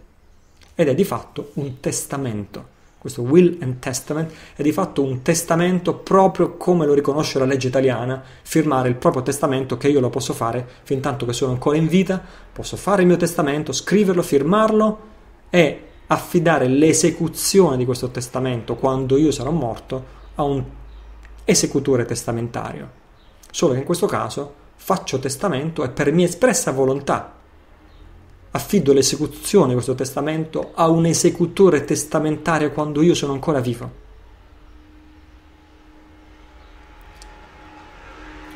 In questo testamento quello che fai è di conferire tutti i tuoi averi, iniziando dalla tua proprietà biologica che è il tuo corpo, il tuo nome, conferisci tutti i tuoi averi in un patrimonio o possedimento, che è la mia traduzione personale del termine inglese estate. Estate penso che in attesa di una traduzione migliore lo possiamo tradurre come patrimonio o possedimento personale, che è stato fondato da te e che porta il tuo marchio, che tu avrai scelto quale sia il tuo marchio, il tuo stemma, il tuo emblema, per preservare questa fo- patrimonio, questo possedimento, questa fondazione si potrebbe dire, non solo adesso ma anche nelle generazioni future. Questo testamento è stato scritto in, eh, completamente in un linguaggio che il sistema romano o romano-vaticano. Il sistema lo capisce benissimo questo linguaggio perché è il suo linguaggio. In questo testamento tu accetti nella tua vita le offerte presentate dal trattato di un solo cielo, perché il trattato di un solo cielo non è altro che un'offerta. Chi vuole vivere in pace sotto un solo cielo e su questa terra? È una proposta, ma poi spetta a te, spetta all'individuo accettare questa proposta. In questo testamento tu accetti solennemente questa proposta accetti di portare questa proposta nella tua vita e di, di, di, di fare della tua vita uno strumento di questo trattato. Così facendo, conferendo tutti i tuoi averi in questo possedimento, rinunci a tutte le tue proprietà. Le conferisci in un patrimonio da te stesso fondato e decidi di vivere come ministro apostolico mendicante. Aspetta a scandalizzarti. Arriverò alla fine e tutto sarà più chiaro. Rinunci alle tue proprietà, decidi di vivere come ministro apostolico mendicante, dove ministro è come un ministro di culto, no? È come un ministro di culto, come un monaco. E infatti, attenzione, questo è esattamente il linguaggio che noi stiamo usando, perché questo è esattamente quello che ha fatto la falsa cristianità. Con i francescani e i gesuiti fondati a Venezia, quindi loro capiscono benissimo questo linguaggio. Rinunci alle tue proprietà, decidi di vivere come ministro apostolico mendicante, nulla tenente, con la certezza che l'esecutore generale e custode del tuo patrimonio, da te fondato, si prenderà comunque cura dei tuoi bisogni materiali. E chi è l'esecutore generale del tuo patrimonio? Franco Collins? certamente no, certamente no. Come esecutore generale, tu nominerai all'interno del tuo testamento, nominerai te stesso. Allora, aspetta, aspetta, aspetta, aspetta. Come posso io essere al tempo stesso un mendicante apostolico, un ministro apostolico mendicante nulla tenente e poi essere l'esecutore generale del mio possedimento? Allora, attenzione, se per questo tu puoi essere molto, molto, molto, molto di più che solo questi due ruoli.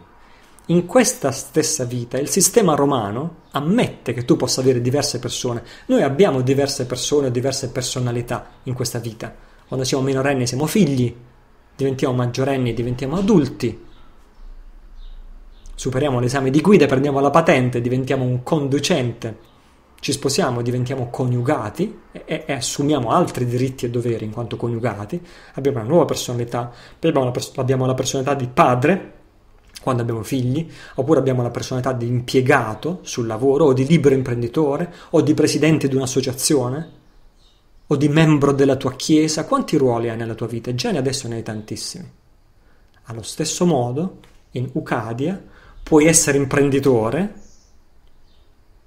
creare un immenso valore per il mondo, non è che con un Cadia devi essere povero, nulla tenente e non puoi fare l'imprenditore. Al contrario, puoi fare l'imprenditore, puoi realizzare i tuoi talenti, puoi fare l'artista, puoi fare tutto quello che vuoi. Al tempo stesso puoi fare il coniuge, al tempo stesso puoi fare il padre, al tempo stesso puoi fare il membro della tua chiesa, al tempo stesso puoi fare il ministro apostolico mendicante di Ucadia e al tempo stesso puoi essere l'esecutore generale del tuo patrimonio. Questo testamento, ripeto, è scritto secondo le regole del sistema romano-vaticano, regole che loro capiscono benissimo, in modo tale da sottrarre tutto il tuo patrimonio alle rivendicazioni arbitrarie di soggetti terzi, incluso lo stato fittizio in cui sei nato e inclusa la oltraggiosa rivendicazione fatta da Papa Bonifacio VIII nella bolla papale Unam Sanctam Ecclesiam nel 1305 di cui ho parlato nell'episodio 8. Per favore, se non hai ascoltato l'episodio 8, vattelo a riascoltare perché è la base di tutto quello di cui stiamo parlando in questo particolare episodio. Ora, domanda. Non c'è un conflitto di interessi nel fatto che noi stessi, la persona, siamo sia ministro apostolico mendicante sia esecutore del nostro possedimento? Allora, risposta numero uno, nel fare questo tu hai incastrato il sistema, lo hai messo in un angolo, usando le sue stesse armi, in modo tale che loro non possono dirti più niente, perché nessuno può obbligare un esecutore testamentario a decidere cosa deve fare di quei beni di cui non è né proprietario e né beneficiario, perché la legge è chiarissima, se tu sei esecutore testamentario non sei proprietario e non sei beneficiario. E se tu come mendicante, ministro apostolico mendicante, hai rinunciato a tutto, non puoi essere proprietario di quel estate, di quella proprietà, di quel possedimento, di quel patrimonio che è a tutti gli effetti un trust avendolo conferito, non ne sei proprietario e non ne sei beneficiario. Hai incastrato il sistema, hai distrutto le sue armi, non può fare più niente contro di te. Se sei nulla tenente, sei nulla tenente, punto, non c'è più nulla che possono fare contro di te. Curioso questo, parlavo qualche eh, scambiavamo qualche email qualche giorno fa con Paolo Franceschetti, l'avvocato Franceschetti che sicuramente conosci e spero di avere quanto prima come ospite di questi podcast. Eh, adesso è in viaggio. E, ehm, e, ehm, Paolo mi diceva, da quello che ho capito io, fino a questo momento, le mie lunghe ricerche, c'è soltanto un modo in cui è possibile essere liberi. C'è soltanto un modo in cui è possibile fregare il sistema. Essere nulla tenenti lo diceva da avvocato in quel momento. Se sei nulla tenente, non possono farti niente, sei invulnerabile. Mi, eh, ho, ho, giudicato interessantissima questa risposta di Paolo Franceschetti, è geniale a suo modo e conferma quello di cui stiamo parlando. Se sei nulla tenente, sei nulla tenente, punto e basta. Sei libero. E questa è la risposta numero uno. La risposta numero due a questo cosiddetto conflitto di interessi è che è proprio questo il compito, la sfida di ciascun membro di Ucadia, cioè diventare persone competenti, diventare persone congruenti, cioè coerenti in questo duplice ruolo, perché avrai due ruoli oltre a tutti gli altri che hai nella tua vita. Avrai il ruolo di ministro apostolico mendicante. Aiuterai a portare la visione di Ucadia nel mondo. Indosserai sempre questa veste, avrai sempre questo ruolo quando hai a che fare con le autorità, sempre quando hai a che fare con qualsiasi autorità di qualsiasi istituzione fittizia appartenente al sistema romano-vaticano, tu vestirai i panni del mendicante apostolico, del ministro, lo sbaglio sempre, del ministro apostolico mendicante. Da una parte. Dall'altra parte devi diventare competente nel tuo ruolo di esecutore. Quando vesterai i panni dell'esecutore? Quando amministri le faccende della tua vita, della tua vita materiale, della tua famiglia, quando dovrai muovere soldi, prelevare e versare dal conto corrente bancario, eccetera, eccetera, eccetera, dovrai agire come l'esecutore. Ora, qualcuno ha domandato a Franco Collins, non sarebbe meglio che due amici si mettono d'accordo, cioè diventiamo io e te entrambi ministri apostolici mendicanti, firmiamo will and testament, il nostro testamento, però ci mettiamo d'accordo, io sono esecutore del tuo patrimonio e tu sei esecutore del mio patrimonio. A questo punto il sistema è proprio messo a terra, ha zero appigli, non può più dire niente, non c'è nessuno che possa fare niente per, per, per nessun appiglio per il sistema, per incastarti in qualche modo. Allora, la risposta di Franco Collins, questo era una, un audio, un audioprogramma che Franco Collins fa ogni mercoledì sera. Nella sua risposta ha detto sì, lo puoi fare tranquillamente, ma perché piegarsi a dover ricorrere a stratagemmi quando il diritto ti consente di fare questo con onore? Quindi siamo arrivati a questo, siamo arrivati all'individuo, come dicevo, questo è l'inizio del processo, è il processo del costruire una nuova società senza aspettare che crolli la vecchia e senza combattere la vecchia, che è uno spreco di energia enorme. Continuiamo con questo processo. Tutto inizia dall'individuo, tutto inizia con la riconquista della competenza e della sovranità da parte dell'individuo. Ora, tutto questo, ripeto, sta avvenendo adesso. L'ultima versione del testamento è stata pubblicata appena due settimane fa, cioè nella stessa settimana in cui me ne ha parlato Franco Collins. Ci sono alle spalle 25 anni di lavoro sui principi, sui valori e sul diritto ed è proprio adesso, letteralmente, in questi giorni, che tutti i frutti di questo lavoro stanno maturando nel passaggio a un'azione concreta. Tutto inizia con la riconquista della competenza e della sovranità dell'individuo che capisce e firma il proprio testamento. Ecco perché tutto parte dall'individuo, in Ucadia non c'è spazio per perdere di tempo, rivoluzioni, anarchia, tafferugli nelle piazze con la polizia, eccetera, eccetera, eccetera, che sappiamo già dove va a finire. Il passo successivo dopo l'individuo è quando tre individui sovrani, ciascuno dei quali ha compilato il proprio testamento per averlo capito, si riuniscono tre individui liberamente. Ora attenzione, è in corso di preparazione, ma è proprio questione di giorni ormai, un sistema sofisticatissimo di notificazioni o notifiche, come si dice? Boh, notifiche, notificazioni, gazzette ufficiali di Ucadia, eccetera, eccetera, eccetera, in cui tu rendi noto alle autorità e al resto del mondo che hai compilato questo testamento e che sei un individuo sovrano e diffidi chiunque da occuparsi, da appropriarsi indebitamente del tuo nome, delle tue proprietà, del tuo corpo, della tua mente, del tuo spirito, eccetera, eccetera, eccetera, eccetera. Tutto questo è in corso di preparazione in questi giorni, in fase di ultimazione. Tre individui sovrani si mettono insieme e formano un campus. Questo deve accadere su base locale, perché il, temp- il, termine campus in Ucadia è l'equivalente di quello che noi chiamiamo città nell'attuale sistema romano, anzi noi diciamo comune.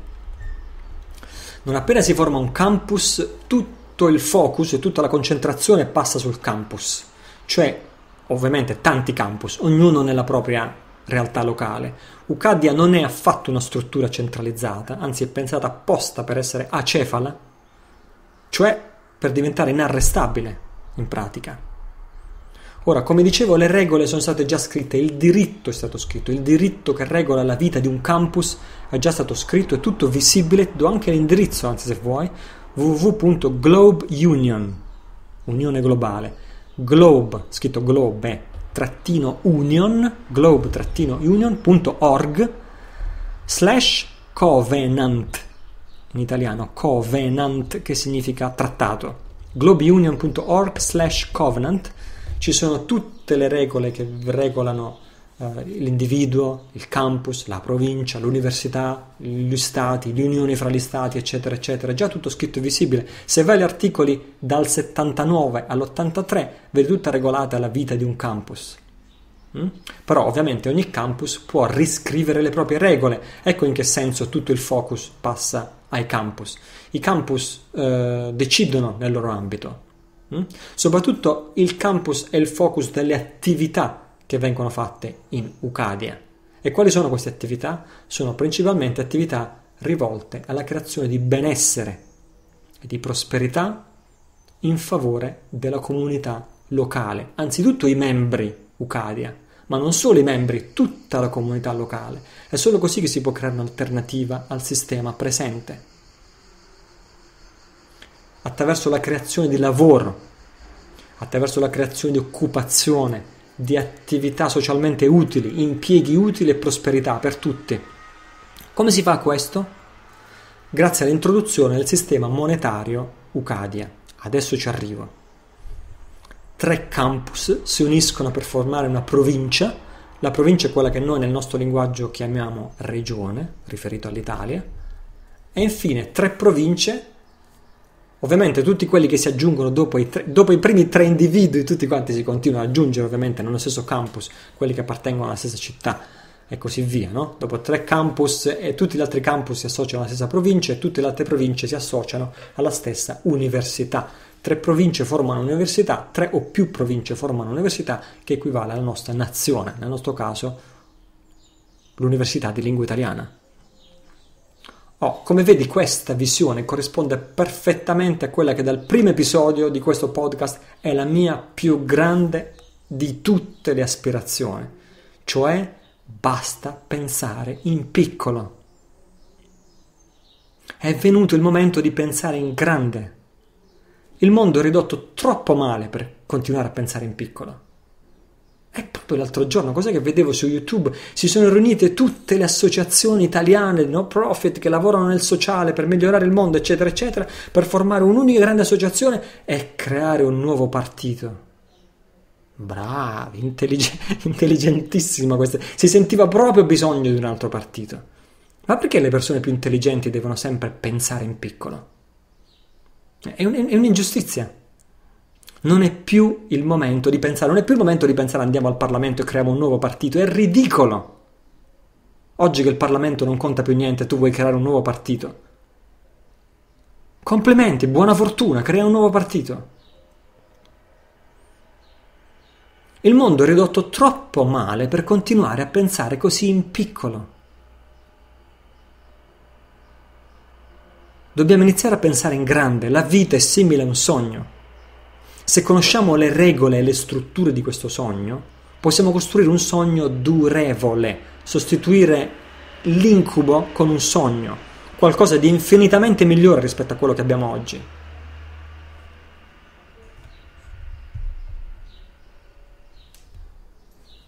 Passiamo al denaro. Il denaro in Ucadia, perché il problema del, che abbiamo oggi, il problema del denaro,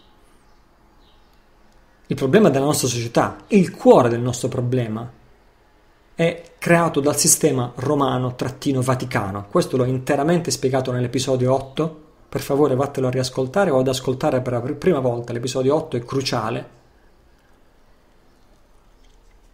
Ho spiegato la nascita del sistema romano-vaticano, il sistema delle bolle papali, il sistema della riduzione in schiavitù degli esseri umani, e ho spiegato come è nato prima l'impero romano, dalla sua natura pigra, prepotente, mediocre e parassitaria,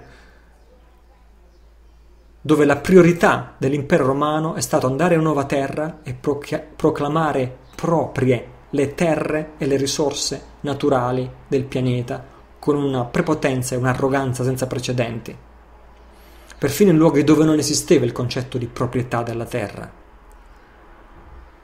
Così è iniziato il sistema romano. L'idea non è quella di creare ricchezza, l'idea è di impadronirsi delle risorse. Una visione totalmente parassitaria dell'economia che esiste ancora al giorno d'oggi, anzi è quella dominante e vigente.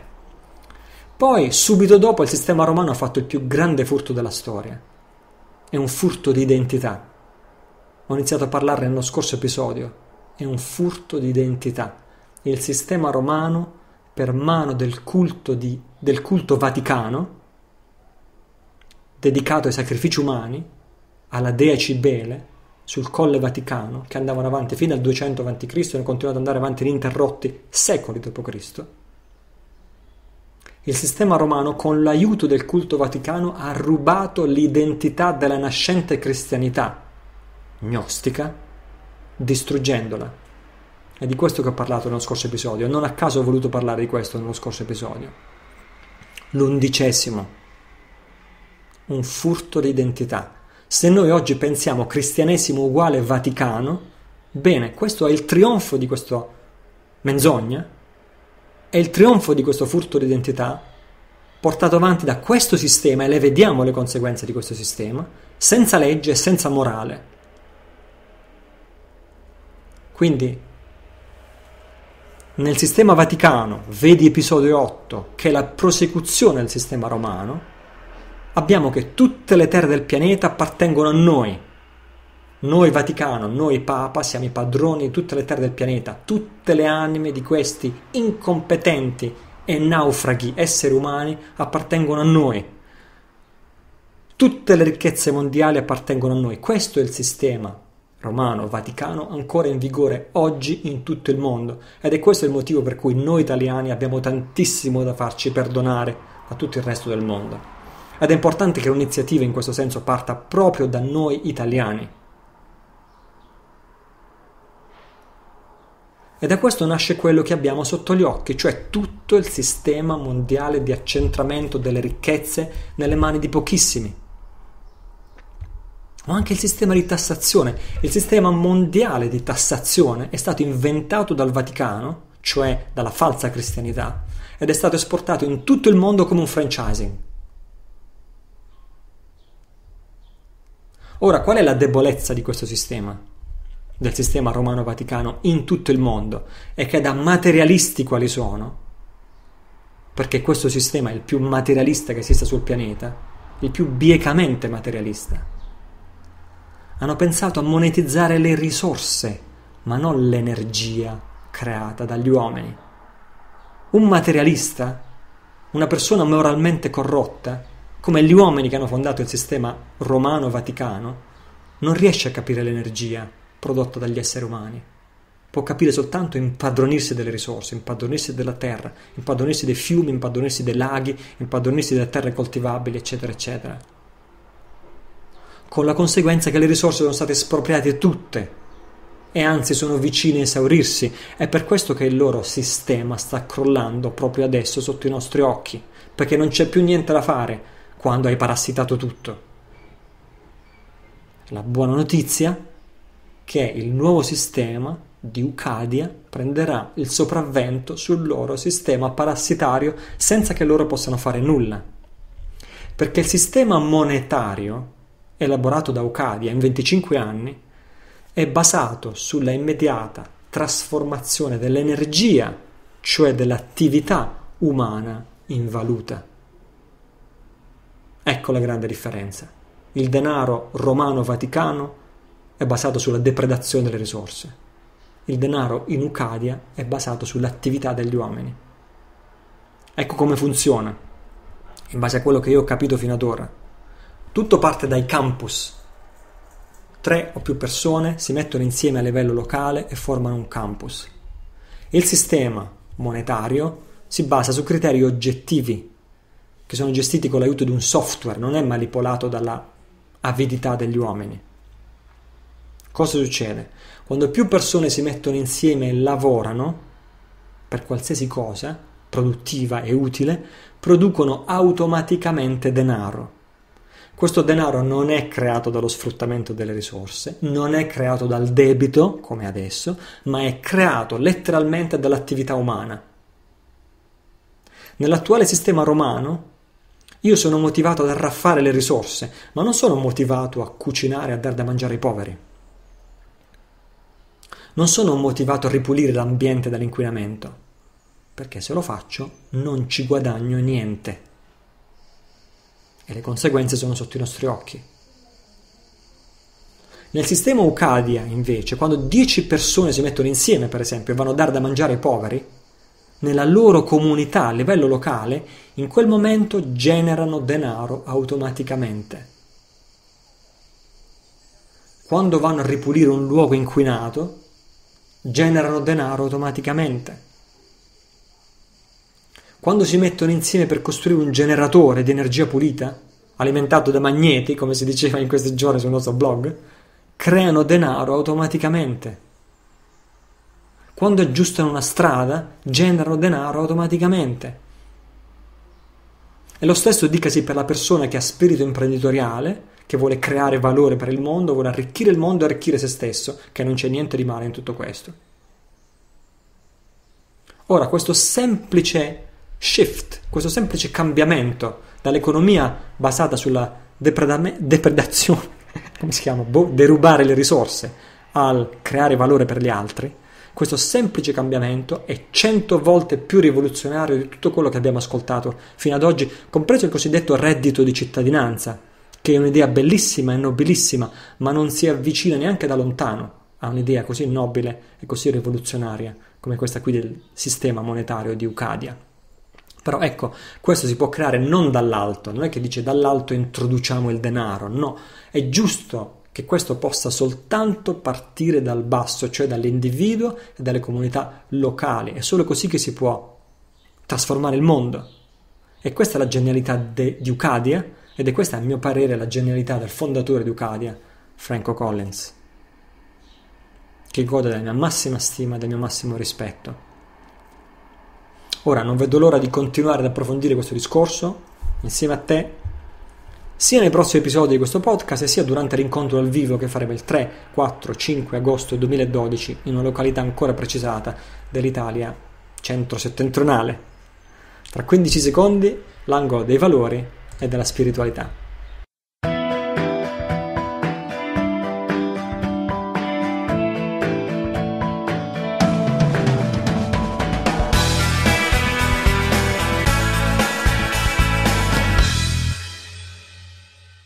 Bene, questa settimana voglio farti ascoltare un altro spezzone della registrazione di un corso di meditazione che ho tenuto nel 2008, quattro anni fa. E, ehm, l'argomento è sempre la generosità, potremmo richiamarlo, potremmo chiamarlo riflessioni sparse sulla generosità. Ecco, voglio fare una breve premessa sulla mia affermazione iniziale che sentirai in questa, in questa registrazione, perché dico che la, um, la generosità se tu oggi pratichi la generosità, questo diventerà causa karmica affinché in futuro tu possa sperimentare la ricchezza. Ora, ok? Quindi essere generoso oggi per sperimentare prosperità in futuro. Cioè la generosità è causa karmica di ricchezza. Ora, già siccome già sento le persone che iniziano a dire ah così, colà, iniziano a lamentarsi, voglio, voglio precisare che questi insegnamenti non sono fatti per essere presi in senso letterale, sono metafore. Sono, eh, eh, eh, tutti mi hanno fatto i complimenti quando ho parlato delle, delle, due verità in alcuni episodi fa, la verità assoluta e la verità relativa. Ecco bene, questa è la verità relativa, quella che ci serve a migliorare, serve solo a motivarci a migliorare. Um, ripeto, tutti mi hanno fatto i complimenti, però quando siamo andati a parlare di dottrine, guai a chi tocca la mia dottrina, no? C'è chi si è offeso, perché allora la mia dottrina, la mia di Italo Cillo, quella di cui ti sto parlando, la generosità è relativa, come tutte le dottrine, però almeno è consapevole di esserlo, ok? Usiamo delle spiegazioni non perché sono assolutamente vere, ma perché sono utili a migliorare noi stessi, a migliorare il mondo e essere di beneficio agli altri. In altre parole, tutte le nostre dottrine sono sempre metafore, anche quelle della scorsa puntata. Quanti di voi hanno capito che quando parlavo di arconti, quando parlavo di eh, eh, la creazione sorge da un'esplosione di luce, sono metafore. È importante che siano metafore, che siamo consapevoli che lo siano, perché la nostra vita è guidata dalle nostre metafore. Se le nostre metafore sono sane, la nostra vita è sana. Se le nostre metafore sono malsane, la nostra vita è malsana. Allora qualcuno mi ha chiesto, ma Italo, com'è possibile che tu, Italo, che tu buddista, ci vieni a parlare degli arconti e del, della nascita del mondo con l'esplosione di luce, eccetera, eccetera. Non dovresti credere a cose diverse. È ovvio che io da buddista...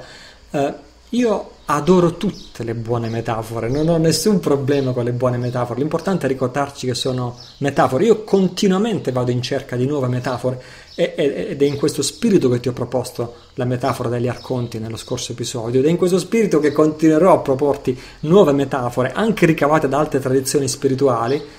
E cosa ci servono le metafore? Servono a guidare la nostra vita e a mantenere alta la nostra ispirazione.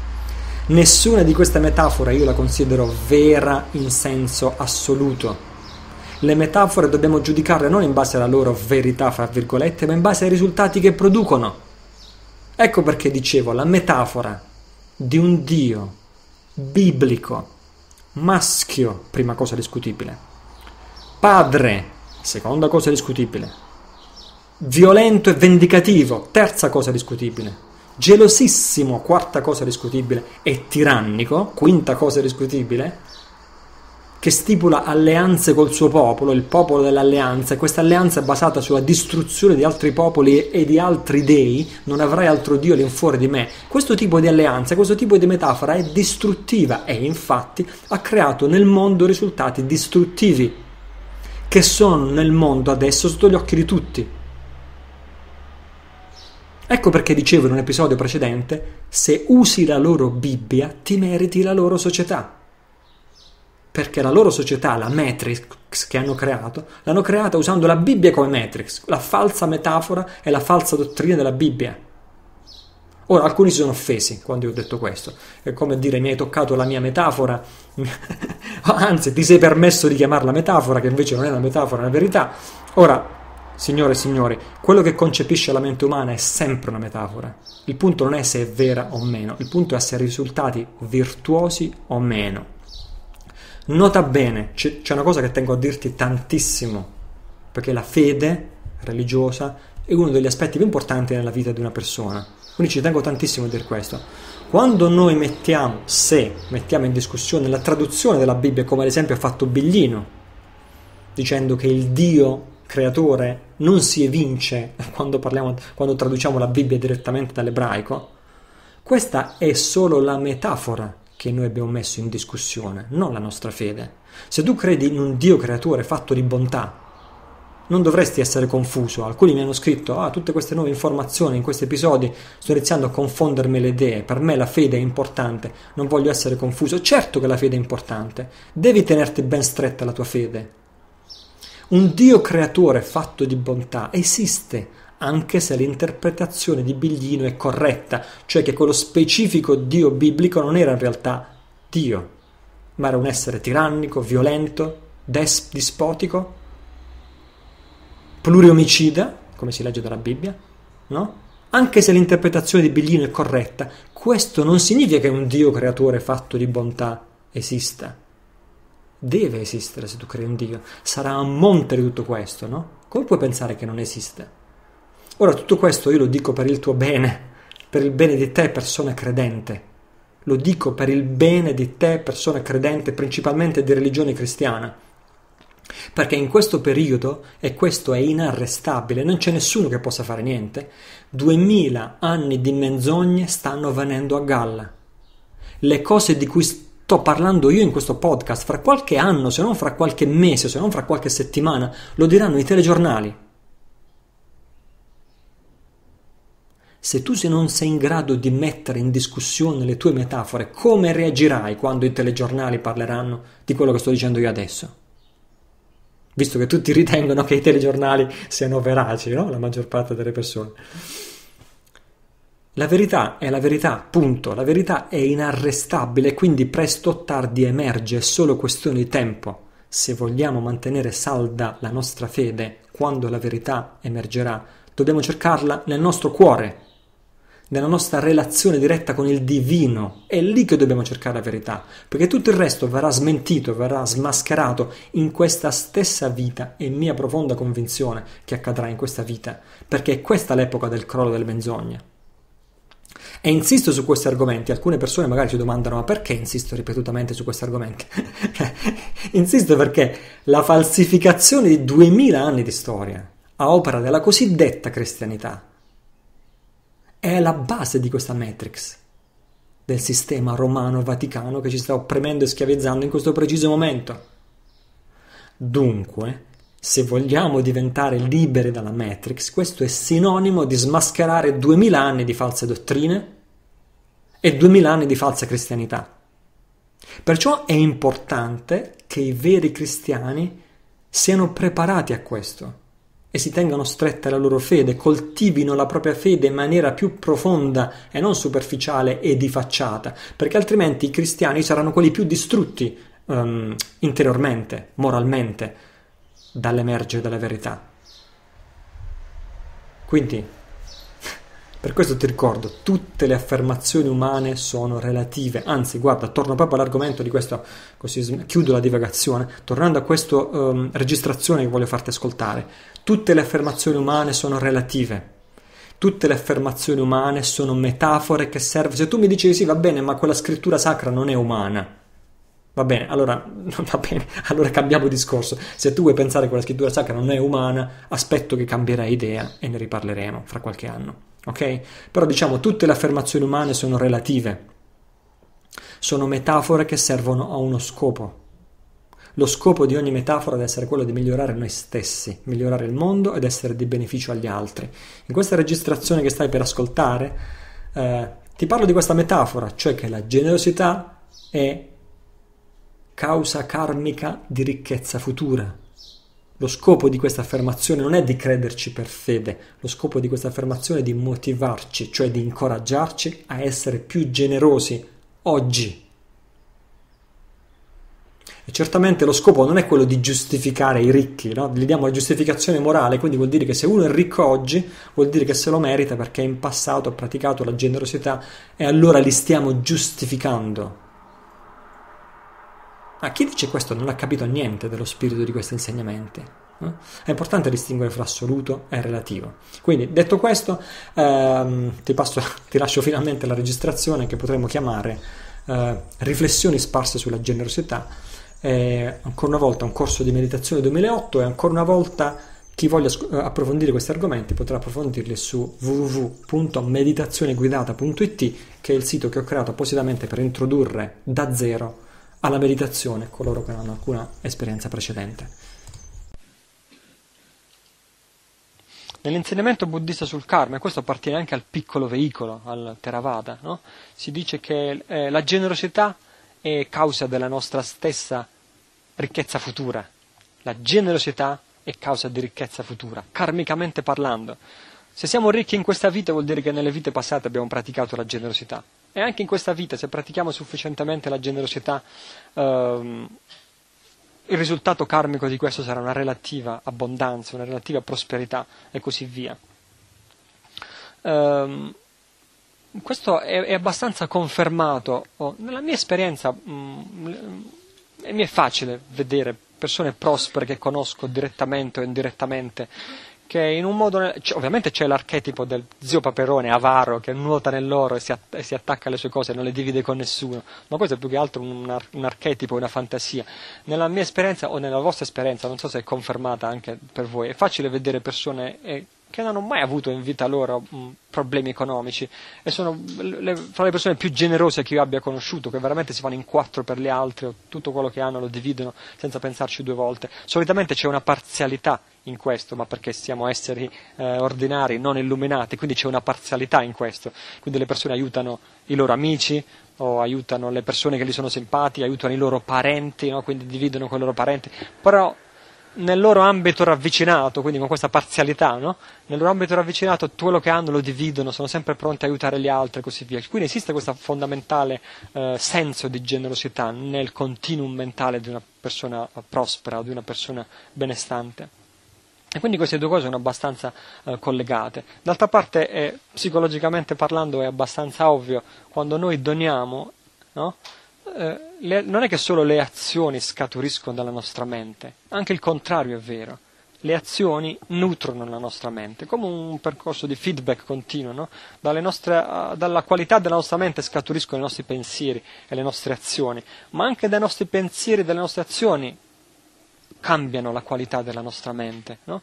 Quindi il donare riempie la nostra mente di impressioni positive, iniziamo a pensare a noi stessi non più come una persona bisognosa o che entriamo nelle circostanze della vita come dal punto di vista dell'uomo povero che ha sempre timore, deve sempre chiedersi cosa se ho abbastanza o se questo va bene o se questo mi creerà problemi e così via, ma entriamo nella vita, entriamo nel mondo dal punto di vista dell'uomo ricco, di quello che ha sempre qualcosa da dividere con gli altri, non importa quanto poco o quanto tanto abbia da condividere con gli altri. Mm? Um, quanto, quanto abbiamo da condividere con gli altri, questo è anche un vantaggio della uh, pratica della generosità. Non importa veramente quanto materialmente, concretamente abbiamo da condividere con gli altri. Uh, se abbiamo poco possiamo condividere poco, se non abbiamo niente possiamo condividere i nostri buoni pensieri, possiamo condividere le preghiere, possiamo condividere i nostri auguri, i nostri auspici di felicità per gli altri. Uh, non importa quanto poco o quanto tanto siamo in grado di condividere, il fatto che noi siamo portati a condividere, desideriamo condividere con gli altri e abbiamo una buona motivazione nel farlo. Queste sono veramente le due cose più importanti. Hm? Il desiderio di condividere, la buona motivazione nel farlo sono la cosa più importante.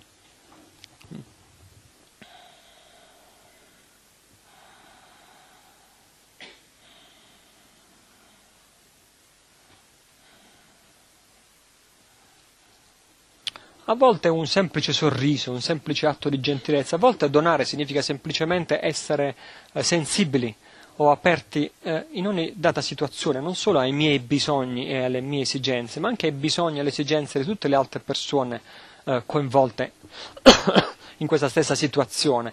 Quindi donare un sorriso, donare una parola di rassicurazione, donare un gesto, che ne so, che sdrammatizza una tensione che si è venuta a creare in quel momento vedere noi stessi come persone che hanno qualcosa da donare nel, nelle varie situazioni veramente trasforma la nostra percezione. Questo è quello che nel buddismo vajrayana chiamiamo la visione pura, no? Visione pura vuol dire iniziare a trasformare anche la visione di noi stessi. In ogni circostanza noi abbiamo sempre qualcosa da dare. È incredibile, o se guardo indietro nella mia vita, no? all'inizio della pratica spirituale, quanto tempo io stesso ci ho messo a capire questo e quindi questo mi fa capire che probabilmente per tutti noi è così, visto che siamo più o meno tutti uguali e la nostra mente funziona più o meno nello stesso modo. All'inizio del mio percorso spirituale per me era difficilissimo, forse la più grande sfida, forse per ciascuno di noi la più grande sfida è veramente capire questo, come noi Abbiamo tanto da dare agli altri, abbiamo tanta ricchezza dentro di noi. Questa è la cosa più difficile da ammettere.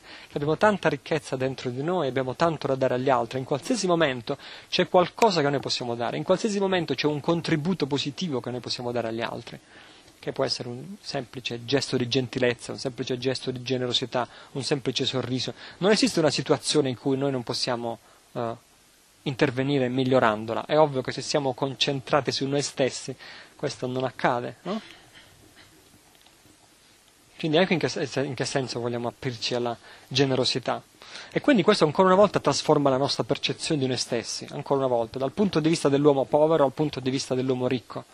Nella, nella meditazione guidata che abbiamo appena fatto, il Buddha si dissolve in luce, il Buddha prima è nello spazio al di sopra della nostra testa ed è esterno a noi stessi, poi il Buddha si dissolve in luce ed entra in noi e noi diventiamo il Buddha. Questa capacità di trasformare la nostra percezione da una percezione ordinaria di una persona ordinaria, piena di difetti, come siamo abituati a vedere noi stessi, no? trasformare questa percezione invece in una percezione pura, questa è veramente una chiave speciale, importante, molto veloce nel progresso personale e spirituale. Lo facciamo in tutte le pratiche, in tutte le pratiche Vajrayana. Questa mattina presto abbiamo fatto la pratica del Nondro, facciamo la pratica di purificazione di Vajrasattva, il Buddha bianco della purificazione, ci inonda di luce, ci purifica, ma alla fine della meditazione lui si dissolve in luce e si dissolve in noi e diventiamo la stessa cosa. Io divento Buddha Vajrasattva. No?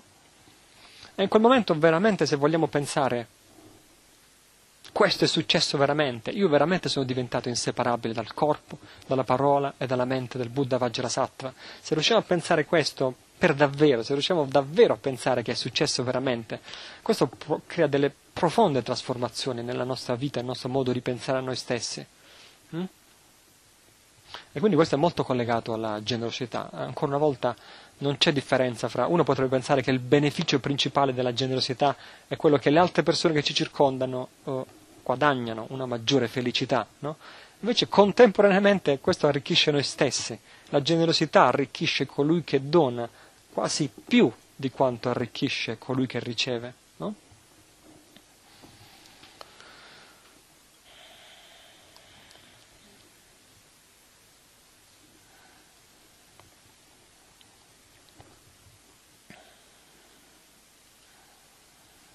Ancora una volta uh, la generosità è sicuramente l'antidoto principale dell'attaccamento e ancora una volta vogliamo sempre ricordare quanto l'attaccamento non è per noi un buon amico, la dipendenza emotiva verso le cose, le persone, le circostanze esterne non è un, per noi un buon alleato, nonostante noi pensiamo che lo sia. No? Come dicevo prima, i punti di riferimento, no? anche per esempio perché si dice la, la pratica in ritiro, no? In tutte le tradizioni buddiste vengono elogiate le qualità positive di prendersi un periodo di ritiro, ma questo è già un periodo di ritiro, no? E già sentiamo come si muovono tante cose dentro di noi, per il semplice fatto un ingrediente fondamentale, e noi magari non ci mai non ci siamo mai soffermati a pensare questo. Un ingrediente fondamentale, proprio che siamo staccati dai nostri luoghi eh, di riferimento normali, non abbiamo la nostra credenza con i nostri cassetti dove sappiamo cosa trovare dentro, sappiamo tutta la nostra vita incasellata, tutto ordinato, abbiamo il frigorifero, sappiamo cosa troveremo, eh, schiacciamo un bottone, sappiamo cosa ci aspetta, è tutto preordinato. No? Quando veniamo in un posto come questo, eh, eh, la nostra energia che è risucchiata solitamente da tutti questi punti di riferimento esterni no, no, ritorna in noi, nostra, è come se la nostra mente ritorna a se stessa e a quel punto possiamo iniziare a, guardarla e a lavorare con la nostra mente. No? Quindi questo vale per occasioni come queste, vale anche per... Uh, mh, occasioni di ritiro. Uh, uh, sempre incoraggio i miei amici studenti del nostro Sangha, quando sia possibile, che sia per un weekend, che sia per una settimana intera, che sia per due settimane, che sia per il tempo che è possibile, a prendersi dei periodi di ritiro individuale. Ovviamente non è che uno parte un periodo di ritiro individuale e non sa cosa fare, inizia a improvvisare, è bene partire con un programma, no? quindi un programma di mh, pratica di meditazione. Di solito il ritiro non si dedica tanto a studiare e a leggere, anzi si preferisce evitare questo. Di solito nel ritiro ci si dedica proprio alla pratica, no? quindi avere una pratica, avere un programma, uno sa che farà sei sessioni al giorno oppure farà quattro sessioni al giorno, eccetera, eccetera. Uno parte con un programma e piano piano entrando in questo flusso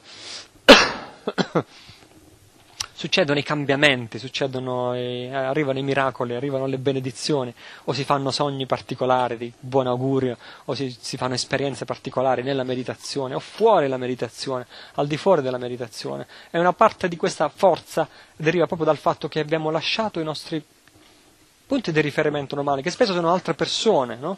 possono essere altre persone, siamo abituati ad appoggiarci agli altri, o siamo abituati che le persone con cui viviamo insieme, i nostri cari, faranno certe cose al posto nostro, oppure se ho bisogno di qualcosa posso trovare consolazione, posso andare a trovare un punto di riferimento. Lo stesso vale per le cose, per le situazioni e così via, sappiamo sempre a cosa appoggiarci. Quando siamo in ritiro non sappiamo più a cosa appoggiarci, no? ecco in quel momento siamo noi e la nostra mente, e il cielo, e i Buddha, e non abbiamo molto altro su cui fare affidamento. E in quel momento veramente si creano delle buone esperienze. Hm? Penso che questo del ritiro, del ritiro per noi oggi come oggi è, è, è, la più grande sfida, è la cosa più difficile per i ritmi di vita quotidiano, dobbiamo mantenerci, pagare l'affitto, guadagnarci, eh, guadagnare, mantenere la famiglia e così via, quindi prendere dei periodi fuori è la, per noi la più grande difficoltà, la nostra sfida principale. Però bisogna anche pensare che questa vita è molto breve, questo ha i suoi pro e i suoi contro. Questa vita è molto breve, oggi ci sembra essere pieno impegno, ma presto magari saremo pensionati e avremo tanto, tanto, tanto tempo a nostra disposizione. E con la conoscenza di oggi nel campo delle vitamine, della nutrizione, della vita salutare, eh, non è che uno a 55 anni, 60 anni è vecchio, al giorno d'oggi uno a 55-60 anni è giovane, ha tanto da fare. E se pensiamo a quanto ci resta da vivere, a quanti decenni ancora ci restano da vivere dal giorno dei nostri 60 anni. No?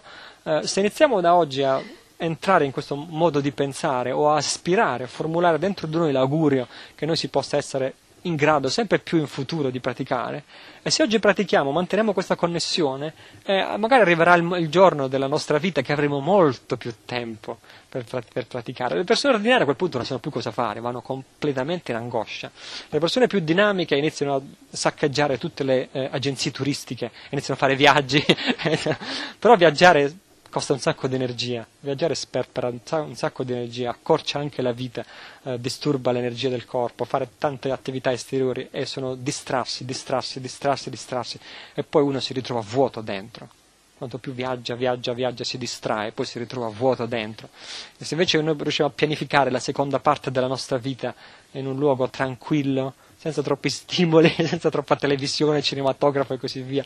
Una cosa che veramente conserva la nostra energia, conserva la nostra mente, una vita quieta, con ritmi naturali, a contatto con la natura. Questo è perfettamente possibile, visto che ci aspetta una lunga seconda parte della nostra vita. No? Se riusciamo a pianificarlo in questa maniera e già da adesso abbiamo mantenuto una connessione eh, con la pratica, sicuramente in quel periodo della nostra vita ci sarà un immenso beneficio per noi stessi, una immensa crescita. No? Ancora una volta, che, eh, come noi immaginiamo le cose così diventano. Se noi ci immaginiamo una vecchiaia deprimente, probabilmente la nostra vecchiaia sarà deprimente. No?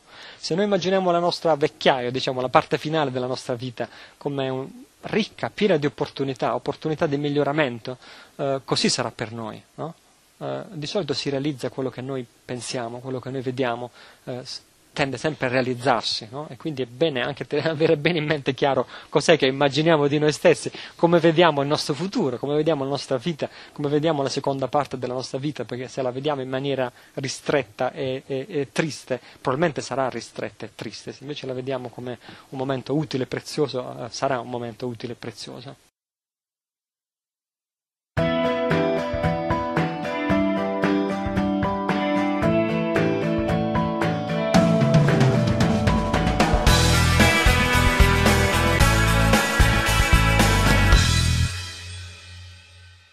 Così siamo arrivati alle risorse consigliate di questa settimana. Ti ricordo che le risorse consigliate le trovi sempre sotto lì al pulsante dove scarichi questi audio. Subito prima dei commenti ci trovi le risorse consigliate. Il primo eh, che troverai è il PDF, il documento, origina- il documento di accettazione incondizionata, accettazione condizionata del debito con cui il nostro Andrea ha contestato il debito ehm, eh, ha contestato il debito che gli veniva contestato dalla banca relativo a un uh, fido, fido bancario, affidamento bancario. E quindi lo trovi qui, eh, vedi se e come riesci a, a trarne utilità. La seconda risorsa consigliata è un film, si intitola Dark City e possiamo dire che il nostro Sebastiano, che ormai viene nominato il cinefilo ufficiale della nostra comunità, ha colpito ancora. Sebastiano era quello che aveva notato la similitudine fra il nome di Neo di Matrix e Thomas Anderson. Eh, stavolta ci ha consigliato sulle pagine del nostro blog un film chiamato Dark City che esemplifica perfettamente il discorso sugli arconti, cioè i gestori segreti della Matrix che abbiamo fatto nello scorso episodio. Questo, questo, questo film è interamente disponibile su YouTube, te lo raccomando, trovi il primo video della serie, lo trovi qui eh, sulle nostre pagine. Poi trovi, eh, basta, con l'ultima risorsa trovi una, una, un link a un blog molto molto interessante, è il blog chiamato Connessione Cosciente, che eh, risponde alla URL di connessionecosciente.wordpress.com, ha una marea infinita di traduzioni dall'inglese, esattamente degli argomenti di cui ci occupiamo su, questi, su questo podcast, uh, uh, uh, fra cui troverai la più completa ricostruzione storica in lingua italiana di quello che chiamiamo il sistema romano-vaticano. Molte di queste traduzioni, sono prese dai siti e dal lavoro di Franco Collins. Se vuoi una panoramica completa se ti interessa la storia, soprattutto se, ci, se, ti, se, ti, piace leggere, perché qui c'è tanto da leggere, ti raccomando, eh, soprattutto su questo sito Connessione Cosciente, di cui trovi il link, connessionecosciente.wordpress.com, ti raccomando il menu orizzontale in alto. non ti perdere quello che è fondamentale, il menu orizzontale in alto. Seguilo in ordine da sinistra a destra perché è in ordine cronologico, comincia dalla storia dei Sadducei, poi continua con il, il giudaismo, i nazareni o gnostici, poi parla dei desposini, la famiglia di Gesù, e eh, continuando finendo fino alla storia del cristianesimo intesa come la falsa cristianità che è la radice del sistema romano vaticano. Questo, questa ricostruzione storica sarà di grande sollievo per quelli che hanno scritto sul blog e, e, e, e, Gesù allora, io sono preoccupato per la mia fede, ho fatto un'esperienza spirituale di Gesù e così via e sono preoccupato di questo e così via. Bene, se tu hai esperienza spirituale di Gesù, qui su queste pagine troverai una ricostruzione storica perfettamente compatibile con la tua esperienza di Gesù, con la tua fede e con l'esistenza di un Gesù storico realmente esistito. D'altronde i capisaldi della fede cristiana sono due, un divino creatore e l'insegnamento di amore di Gesù. Nessuno di questi due capisaldi potrà mai essere messo in discussione né da qualsiasi scoperta scientifica né da qualsiasi falsa dottrina creata dagli uomini nei secoli allo scopo di schiavizzare altri uomini. Tra 15 secondi, riflessioni finali e conclusione.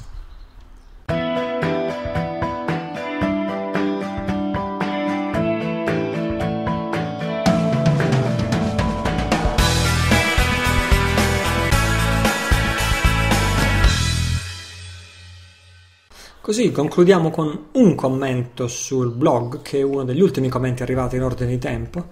Uh, ci scrive Gabi, Mm. Italo, ti stimo per il lavoro che fai. Vorrei porti una questione. Leggo spesso che si attribuisce sempre la responsabilità all'individuo, um, anche nel coaching d'impresa. Io credo però che non sia sempre così.